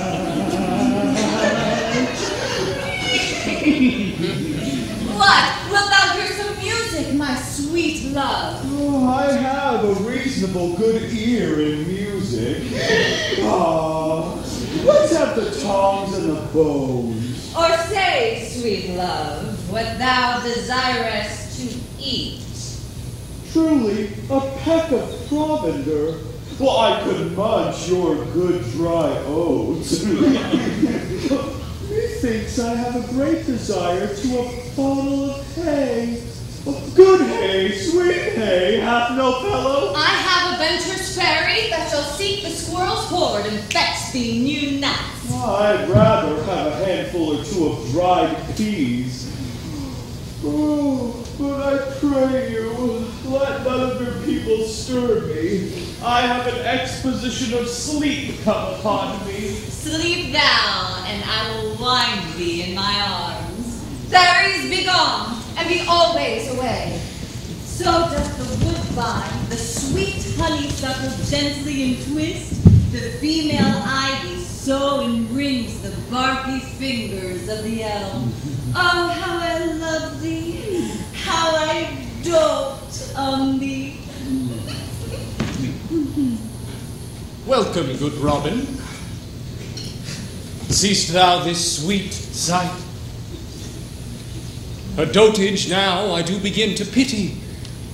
For meeting her of late behind the wood, seeking sweet favors of this hateful fool, I did upbraid her and fall out with her. For she his hairy temples then had rounded with coronet of fresh and fragrant flowers. And when I had at my pleasure taunted her, and she in mild terms begged my patience, I then did ask of her her changeling child, which straight she gave me. And her fairy sent to bear him to my bower and fairy land. And now I have the boy, I will undo this hateful imperfection of her eyes. And gentle Puck, take this transformed scalp from off the head of this Athenian swain, that he, awaking when the others do, may all to Athens back again repair, and think no more of this night's accidents, but as the fierce vexation of a dream. But first, I will release the fairy queen. Be as thou was wont to be. See as thou was wont to see. Dian's bud or Cupid's flower hath such strength and blessed power. Now, my Titania,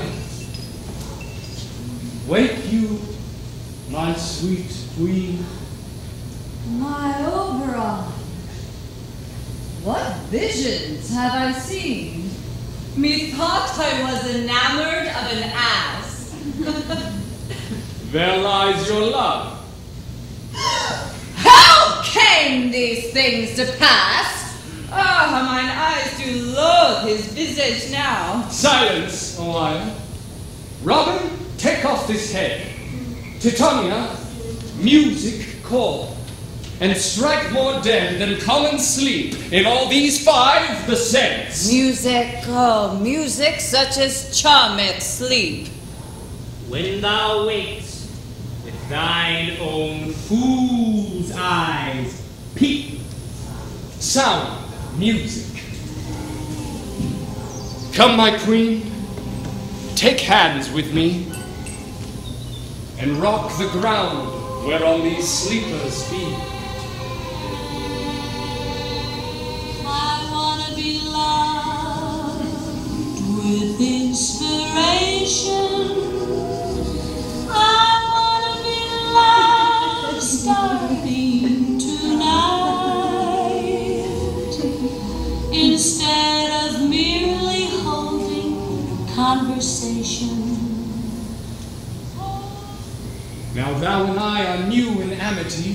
And will tomorrow midnight solemnly dance in Duke Theseus' house triumphantly, and bless it to all fair prosperity. There shall the pairs of faithful lovers be, wedded with Theseus all in jollity. Very lord, attendant Mark, I will hear the morning lark. Now, my queen, in silent way, trip we after the night's shade. And we the globe can compass soon, swifter than the wandering moon. Come, my lord, and in our flight. Hmm. Tell me how it came this night that I, sleeping here, was found with these mortals on the ground.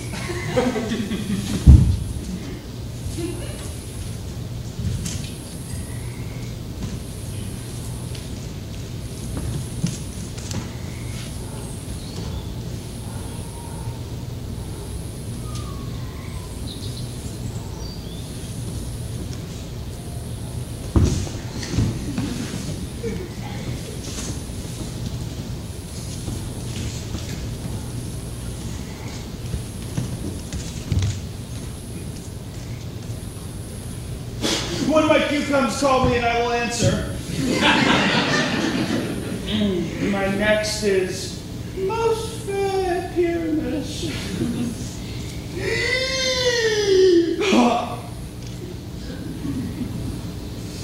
Mm, Peter Quince, flute, the bellows mender. Snout, the tinker. Starveling. Oh, God, my life. Stole it hence and left me asleep. I have had a most rare vision. I have had a dream past the wit of man to say what dream it was. Man is but an ass if he will go about to expound this dream. Methought I was, but there is no man can tell what. Methought I was, methought I had. But man is but a patched fool if he will offer to say what methought I had. The eye of man hath not heard, the ear of man hath not seen. Man's hand is not able to taste, his tongue to conceive, nor his heart to report what my dream was. I will get Peter Quince to write a ballad of this dream, and it shall be called Bottom's Dream. because it hath no bottom. and, and I will sing it at the latter end of a play before the Duke. Peradventure, to make it the more gracious, I will sing it at her death. Since we have the vanguard of the day, my love shall hear the music of my hound. And we will, fair queen, up to the mountain's top and mark the musical confusion of hounds and echo in conjunction. I was with Hercules and Cadmus once, when in a wood of Crete they bade the bear hounds of Sparta. Never did I hear such gallant chiding, for besides the skies, the groves, the fountains, every region near seemed all one mutual cry. I never heard so musical a discord, such sweet thunder. My hounds are bred out of the Spartan kind. A slow in pursuit, but matched in mouth like bells in harmony. Judge when you hear. But soft, what nymphs are these? My lord, this is my daughter here asleep, and this Lysander. This Demetrius is, this Helena. I wonder of their being here together. Well, no doubt they rose up early to observe the rite of May. And hearing our intent, came here in grace of our solemnity.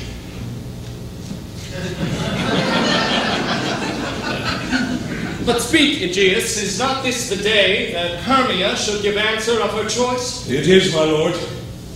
Go, bid the huntsmen wake them with their horns.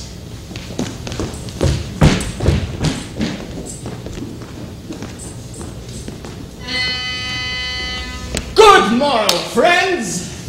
Saint Valentine is past. Begin these woodbirds but the couple now. Oh, pardon, my lord. I pray you all stand up.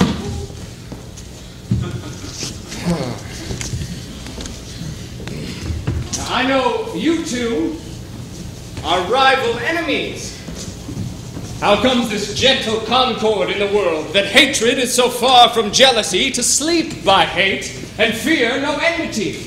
My lord, I shall reply amazedly, half sleep, half waking, but as yet I swear I cannot truly say how I came here. Uh, but as I think, for truly would I speak, and now I do bethink me, so it is. I came with Hermia hither. Our intent was to be gone from Athens, where we might, without the peril of the Athenian law. Enough! Enough! My lord, you have enough. I beg the law, the law upon his head. They would have stolen away. They would, Demetrius, thereby to have defeated you and me. You of your wife, and me of my consent. of my consent that she should be your wife. My lord, fair Helena told me of their stealth, of this their purpose hither to the wood, and I, in fury, hither followed them. Fair Helena, in fancy, followed me. But my good lord, I know not by what power, but by some power it is.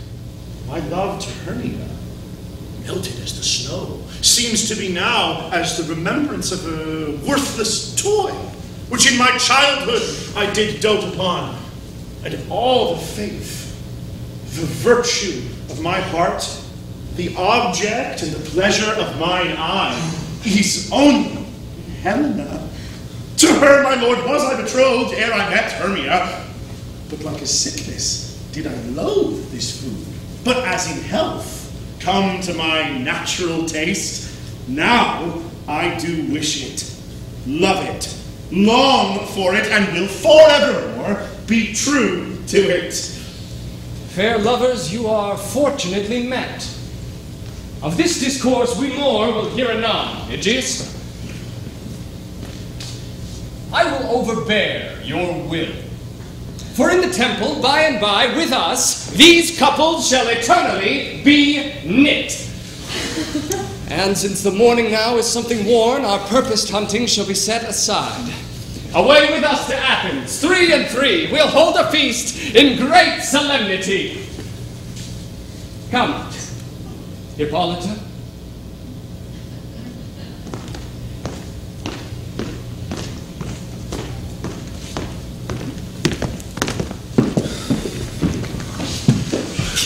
These things seem seem small and undistinguishable, like far-off mountains turned to clouds. Methinks I see these things with parted eye, when everything seems double. Methinks so too. And having found Demetrius like a jewel, mine own and not mine own. Are you sure we are awake? It seems to me that we sleep, we dream. Did not you think the Duke was here and bid us follow him? Yea, and my father. And Hippolyta. And he did bid us follow to the temple. Why, then we are awake. Let us follow him, and by the way, let us recount our dreams.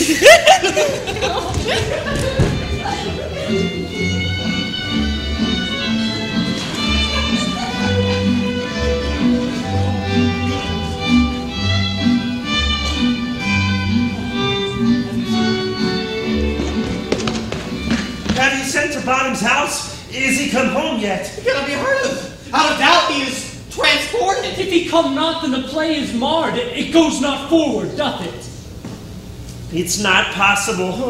You have not a man in all of Athens able to discharge Pyramus but he. No! He simply hath the best wit of any handicraftsman in Athens. Yeah, and a good person too. And he is a very paramour for a sweet voice. You must say paragon. A paramour is, God bless us, a naughty thing. Masters! The Duke is coming from the temple, and there is two or three lords and ladies more married. If our sport had gone forward, we had all been made men. Oh, sweet bully bottom, thus hath he lost sixpence a day during his life. He could not escape sixpence a day. And the Duke had not given him sixpence a day for playing Pyramus, I'll be hanged. He would have deserved it. Sixpence a day in Pyramus or nothing! Where are these lads? Where are these Masters,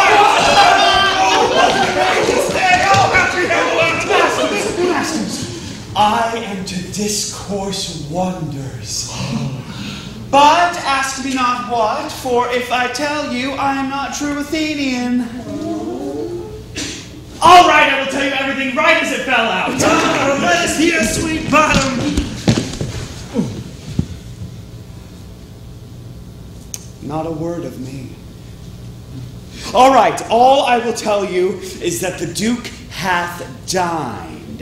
Get your apparel together, new strings to your beards, new ribbons to your pumps. Meet presently at the palace. Every man look o'er his part, for the short and the long is our play is preferred. all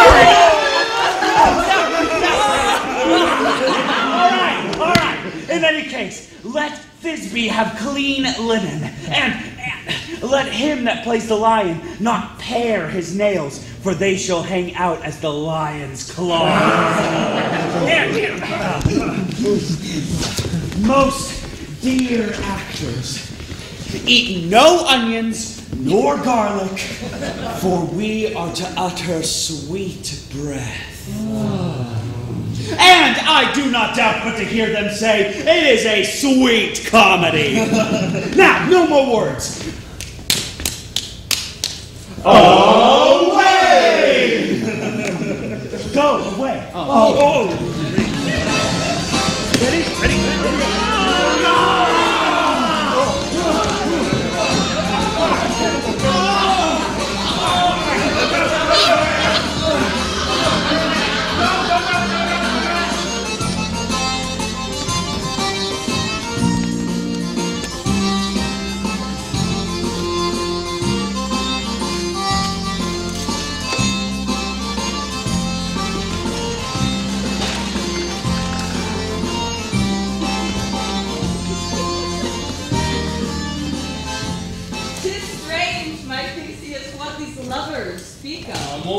strange than true.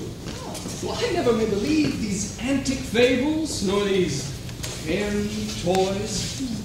Lovers and madmen have such seething brains, such shaping fantasies that apprehend more than cool reason ever comprehends. Well, the lunatic, the lover, and the poet are of imagination all compact. One sees more devils than vast hell can hold, that is the madman. And the lover, all is frantic, sees Helen's beauty in a brow of Egypt.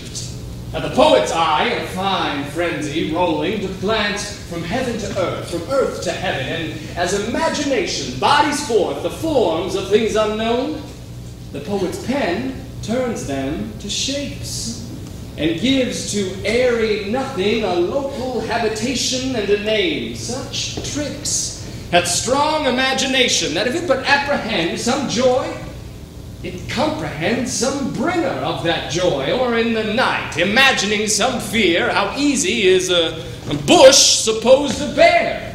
But all the story of the night told over, and all their minds transfigured so together, more witness it than fancy's images, and grows to something of great constancy, but howsoever strange and admirable. And here come the lovers, full of joy and mirth. A joy, gentle friends, joy and fresh days of love accompany your hearts. More than to us waiting your royal walks, your board, your bed. Come now, what masks, what dances shall we have to wear away this long age of three hours between our after supper and bedtime? Oh, Now, what revels are in hand? Is there no play to ease the anguish of a torturing hour? Philostrate! Here, my dear Theseus! Say, what abridgment have you for this evening? What mask? What music? How shall we beguile the lazy time, if not with some delight? There is a brief how many sports are right. Make choice of which your highness will see first. The battle with the centaurs to be sung by an Athenian eunuch to the harp. Well, none of that. that I have told my love in glory of my kinsman Hercules. The riot of the tipsy bacchanals tearing the Thracian singer in their rage. Well, that is an old device, and it was played when I from Thebes came last a conqueror. The thrice three muses mourning for the death of learning, late deceased in beggary. This is some satire, keen and critical, not sorting with a nuptial ceremony. A tedious, brief scene of young Pyramus and his love Thisbe, very tragical mirth. Merry and tragical, tedious and brief. Why, that is hot ice and wondrous strange snow. How shall we find the concord of this discord? A play there is, my lord, some ten words long, which is as brief as I have known a play. But by ten words, my lord, it is too long. Which makes it tedious. For in all the play, there is not one word apt, one player fitted, and tragical, my noble lord it is, for therein Pyramus doth kill himself, which, when I saw rehearsed, I must confess, made mine eyes water. But more merry tears, the passion of loud laughter never shed. And what are they that do play it? Hard-handed men that work in Athens here, which never labored in their minds till now, and now have toiled their unbreathed memories with this same play in honor of your nuptials. And we will hear it. No! Noble lord, it is not for you. I have heard it over, and it is nothing, nothing in the world. Unless you can find sport in their intense, extremely stretched, and conned with cruel pain to do you service. I will hear that play. For never anything can be amiss when simpleness and duty tender it. Go, bring them in, and take your places, ladies. I love not to see wretchedness or charged, and duty in his service perishing. Oh, my gentle sweet, you shall see no such thing. He says they can do nothing in this kind. The kind are we to give them thanks for nothing. Our sport shall be to take what they mistake. And what poor duty cannot do, noble respect takes it in effort, not merit. Where I have come, great clerks have purposed to greet me with premeditated welcomes. When I've seen them shiver and look pale, make periods in the midst of their sentences, uh, throttle their practiced accents and their fears, and in conclusion, dumbly have broke off, not paying me a welcome. Trust me, sweet, out of this silence, yet I picked a welcome. And in the modesty of fearful duty, I read as much as from the flattering tongue of saucy and audacious eloquence. Love, therefore, and tongue-tied simplicity, at least, speak most to my capacity. So please your grace, the prologue is addressed. Let him approach.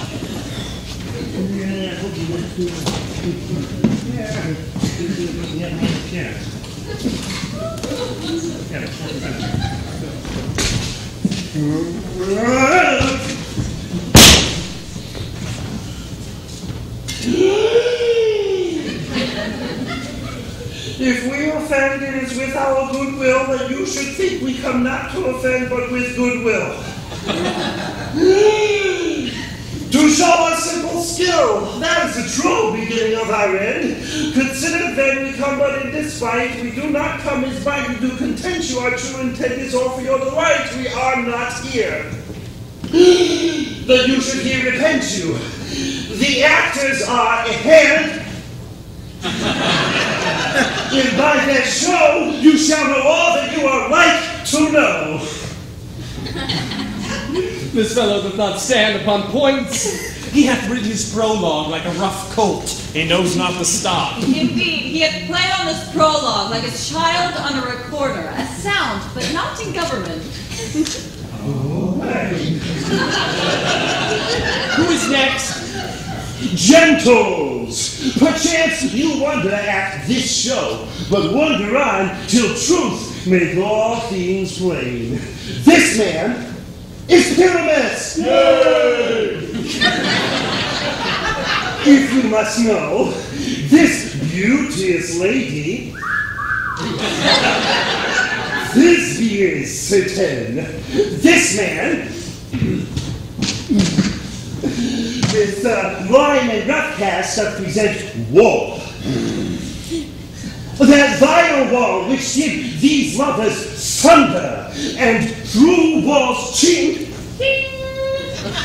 Poor souls, they are content to whisper. After which let no man wonder. This man, with lantern, dog, and bush of thorn, presenteth moonshine. For if you will know, by moonshine did these lovers think no scorn to meet at Ninus' tomb.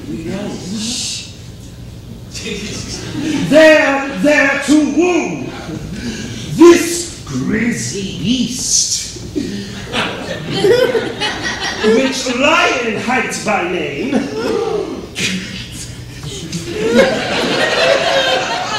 the trusty Thisbe, coming first by night, did scare away.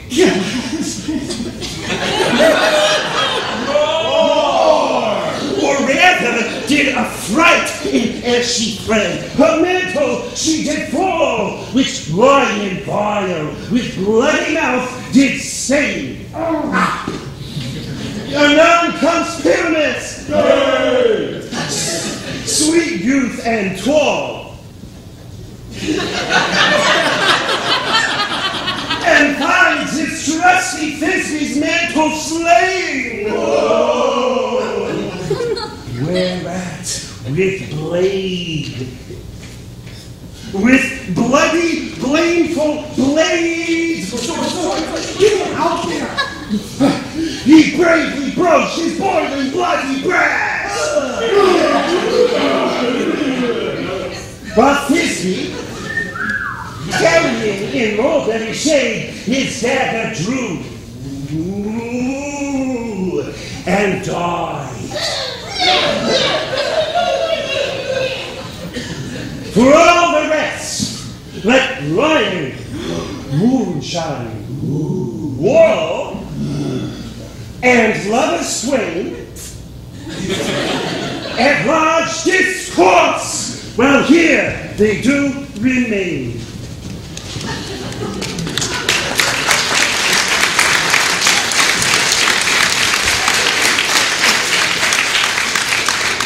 I wonder if the lion be to speak. No wonder, my lord. One lion may, when many asses do. In this same interlude it doth befall that I, one snout by name, present a wall.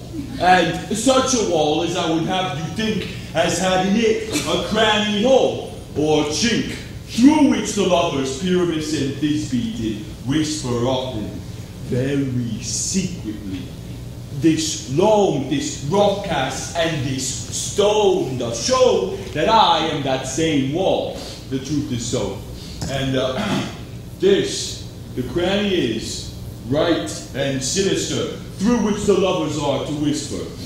Would you desire lime and hair to speak better? It is the wittiest partition that ever I heard discourse, my lord.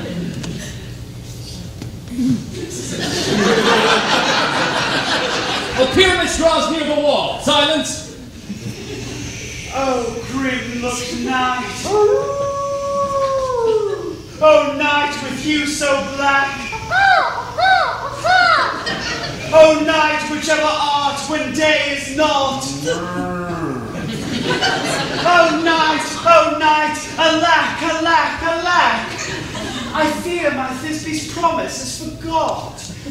And thou, oh wall, oh sweet, oh lovely wall, that stands between her father's ground and mine. Thou wall, oh wall, oh sweet and lovely wall. Show me thy cheek to blink through with mine eye. Show me thy.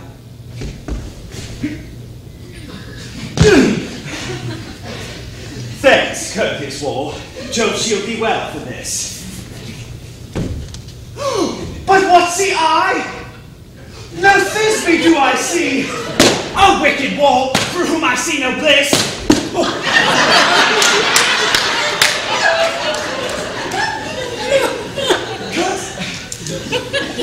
Curse be thy stones for thus deceiving me. The wall, methinks, being sensible, should curse again. Uh, no, in truth, sir, he should not. Uh, deceiving me is Thisbe's cue. Uh, she is to enter now, and I am to spy her through the wall. you will see, it will fall pat, as I told you. oh, God, she comes. Oh, soul. Full often hast thou heard my moans, for parting my fair Pyramus and me. My cherry lips have often kissed thy stone, thy stones with lime and hair knit up in thee.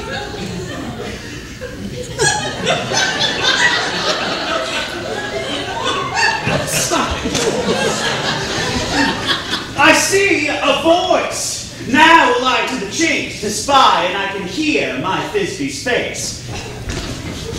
Thisbe!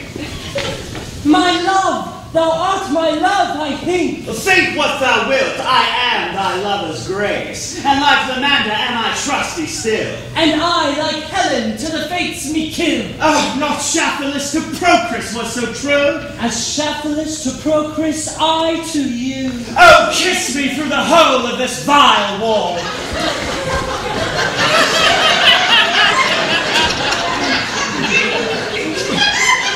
I kiss the walls hole, not your lips at all. But thou at Ninny's tomb meet me Stratois. Tide life, tide death, I come without delay. Thus have I walled my part, discharged so, and being done, thus wall away doth go.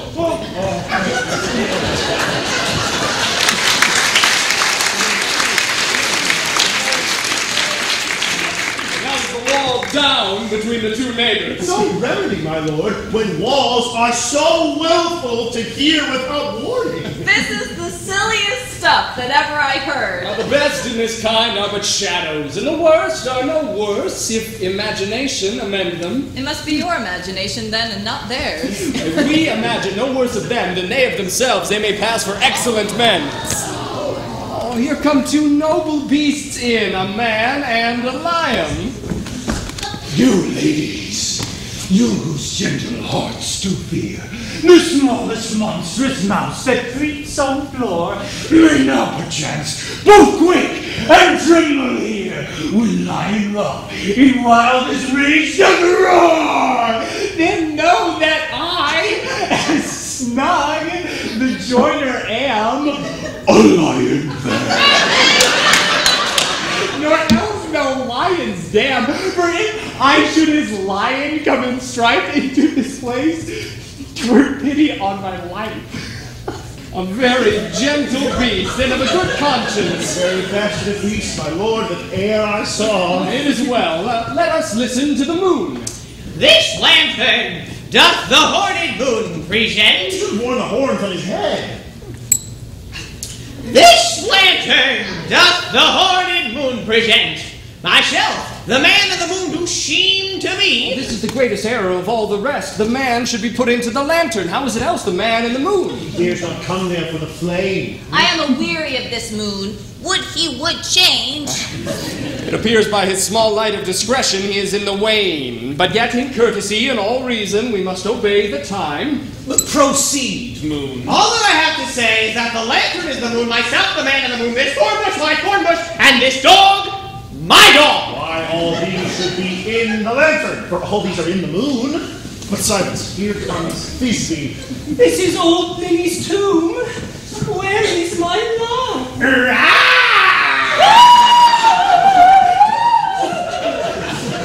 Well run, lion! Well run, Thisbe! Well shown, moon. Truly, the moon shines with a good grace. Well mouthed, lion. And so the lion vanished. Sweet moon, I thank thee for thy sunny beams. I thank thee, moon, for shining now so bright. For by thy gracious golden glittering gleams, I trust to take a cursed Thisbe's sight. but stay. Oh, spite! But mark, poor night, what dreadful dole is here? Eyes, do you see? Oh, how can it be? Oh, dainty duck, oh dear. What, thy mantle good? What, stained with blood? Approach, ye furies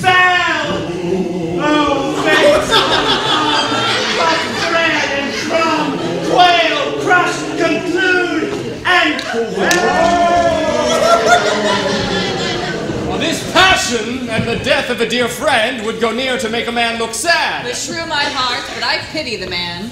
Bum, bum, bum, bum. Bum, bum, bum, bum. Bum, bum, bum, bum, bum, bum, bum. Oh, wherefore, nature, didst thou lions fray? Since lion vile hath here deflowered, my dear. Which is, no, no, which was the fairest dame that lived, that loved, that liked, that looked with cheer. Come, tears, confound.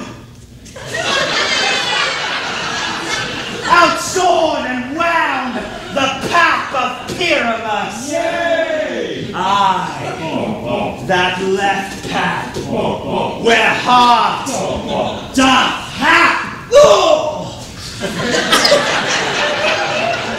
Thus die I. Thus. Thus. Thus.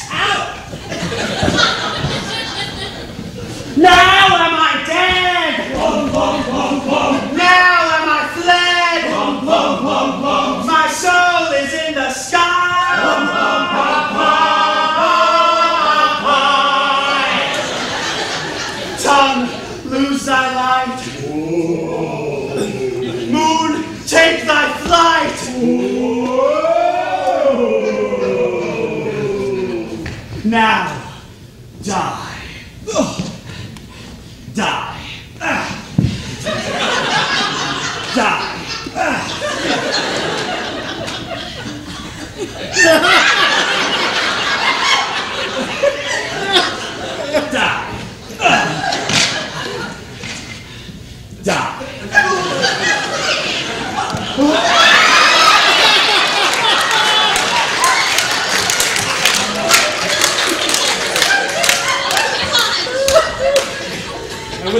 the help of a surgeon, he might yet recover.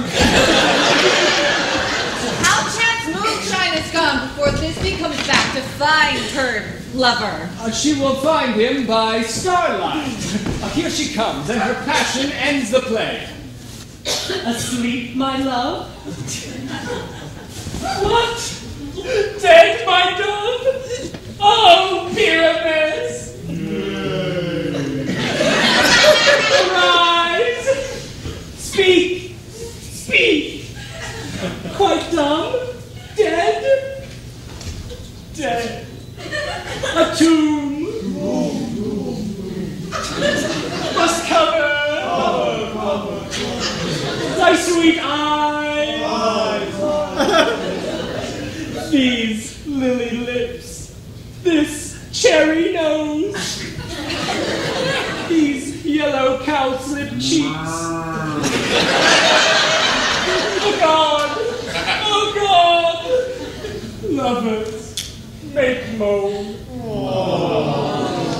His eyes were green as leeks. Oh, sisters three, come, come to me with hands as pale as milk. Lay them in gore, since you have shore with shears his thread of silk. Tongue, not a word. Come, trusty sword! Come, blade, my breast in rue!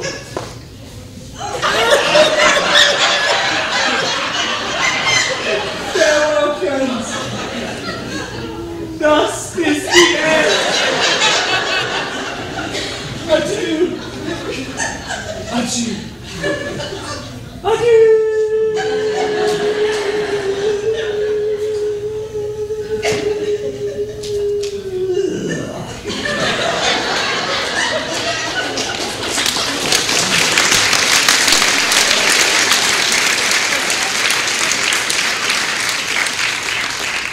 Moonshine and Lion are left to bury the dead. I wall too. Uh, no, sir. I, I assure you, uh, the wall is down that part of their father, So, uh, would it please you to see the epilogue or to hear a Bergomask between our company? No epilogue, I pray you. For your play needs no excuse. Well, never excuse, for when the players are all dead, there need none to be blamed. and marry, if he that with it had played Pyramus and hanged himself in Thisbe's garter, it would have been a fine tragedy. And so it is! Oh, truly, and very notably discharged. But come, your Bergomask. Let your epilogue alone. Well,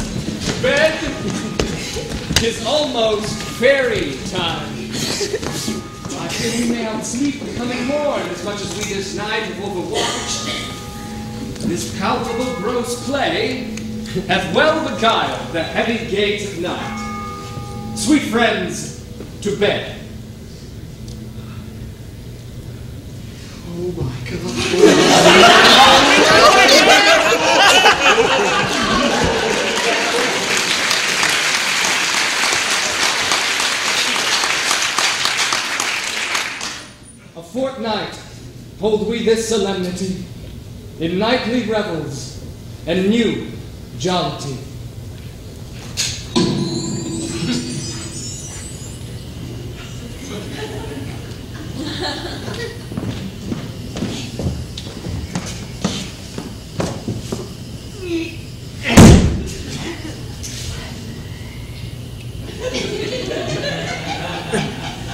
Now the hungry lion roars. and the wolf behowls the moon. Whilst the heavy ploughman snores. All his weary task foredone. Now the wasted brands do glow, and the screech owl, screeching loud, puts the wretch that lies in woe in remembrance of a shroud. Now it is that time of night that the graves, all gaping wide, every one lets forth its sprite in the churchway paths to glide. And we fairies that do run by the triple Hecate's team from the presence of the sun, following darkness like a dream, now are frolic. Not a mouse shall disturb this hallowed house. I am sent with a broom before to sweep the dust behind the door. Through the house ye glimmering light. By the dead and drowsy fire, every elf and fairy sprite, hot as light as bird from briar, Hand in hand with fairy grace, we will now bless this place. Now until the break of day, through this house each fairy stray. To the best bride bed will we, which by us shall blessed be, and the issue there create ever shall be fortunate. So shall all the couples three ever true in loving be, and the plots of nature's hand shall not in their issue stand. With this field dew consecrate, every fairy take his date, and each several member bless through this house with sweet peace.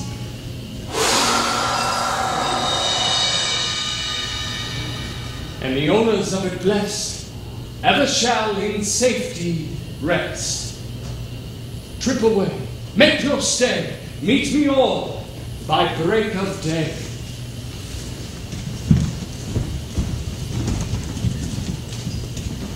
If we shadows have offended, think but this, and all is mended, that you have but slumbered here, whilst these visions did appear. And this weak and idle theme, no more yielding but a dream. Gentles, do not reprehend. If you pardon, we will mend. And as I am an honest Puck, if we have unearned luck now to scape the serpent's tongue, we will make amends ere long, else the puck a liar call. So good night unto you all. Give me your hands, if we be friends, and Robin shall restore amends.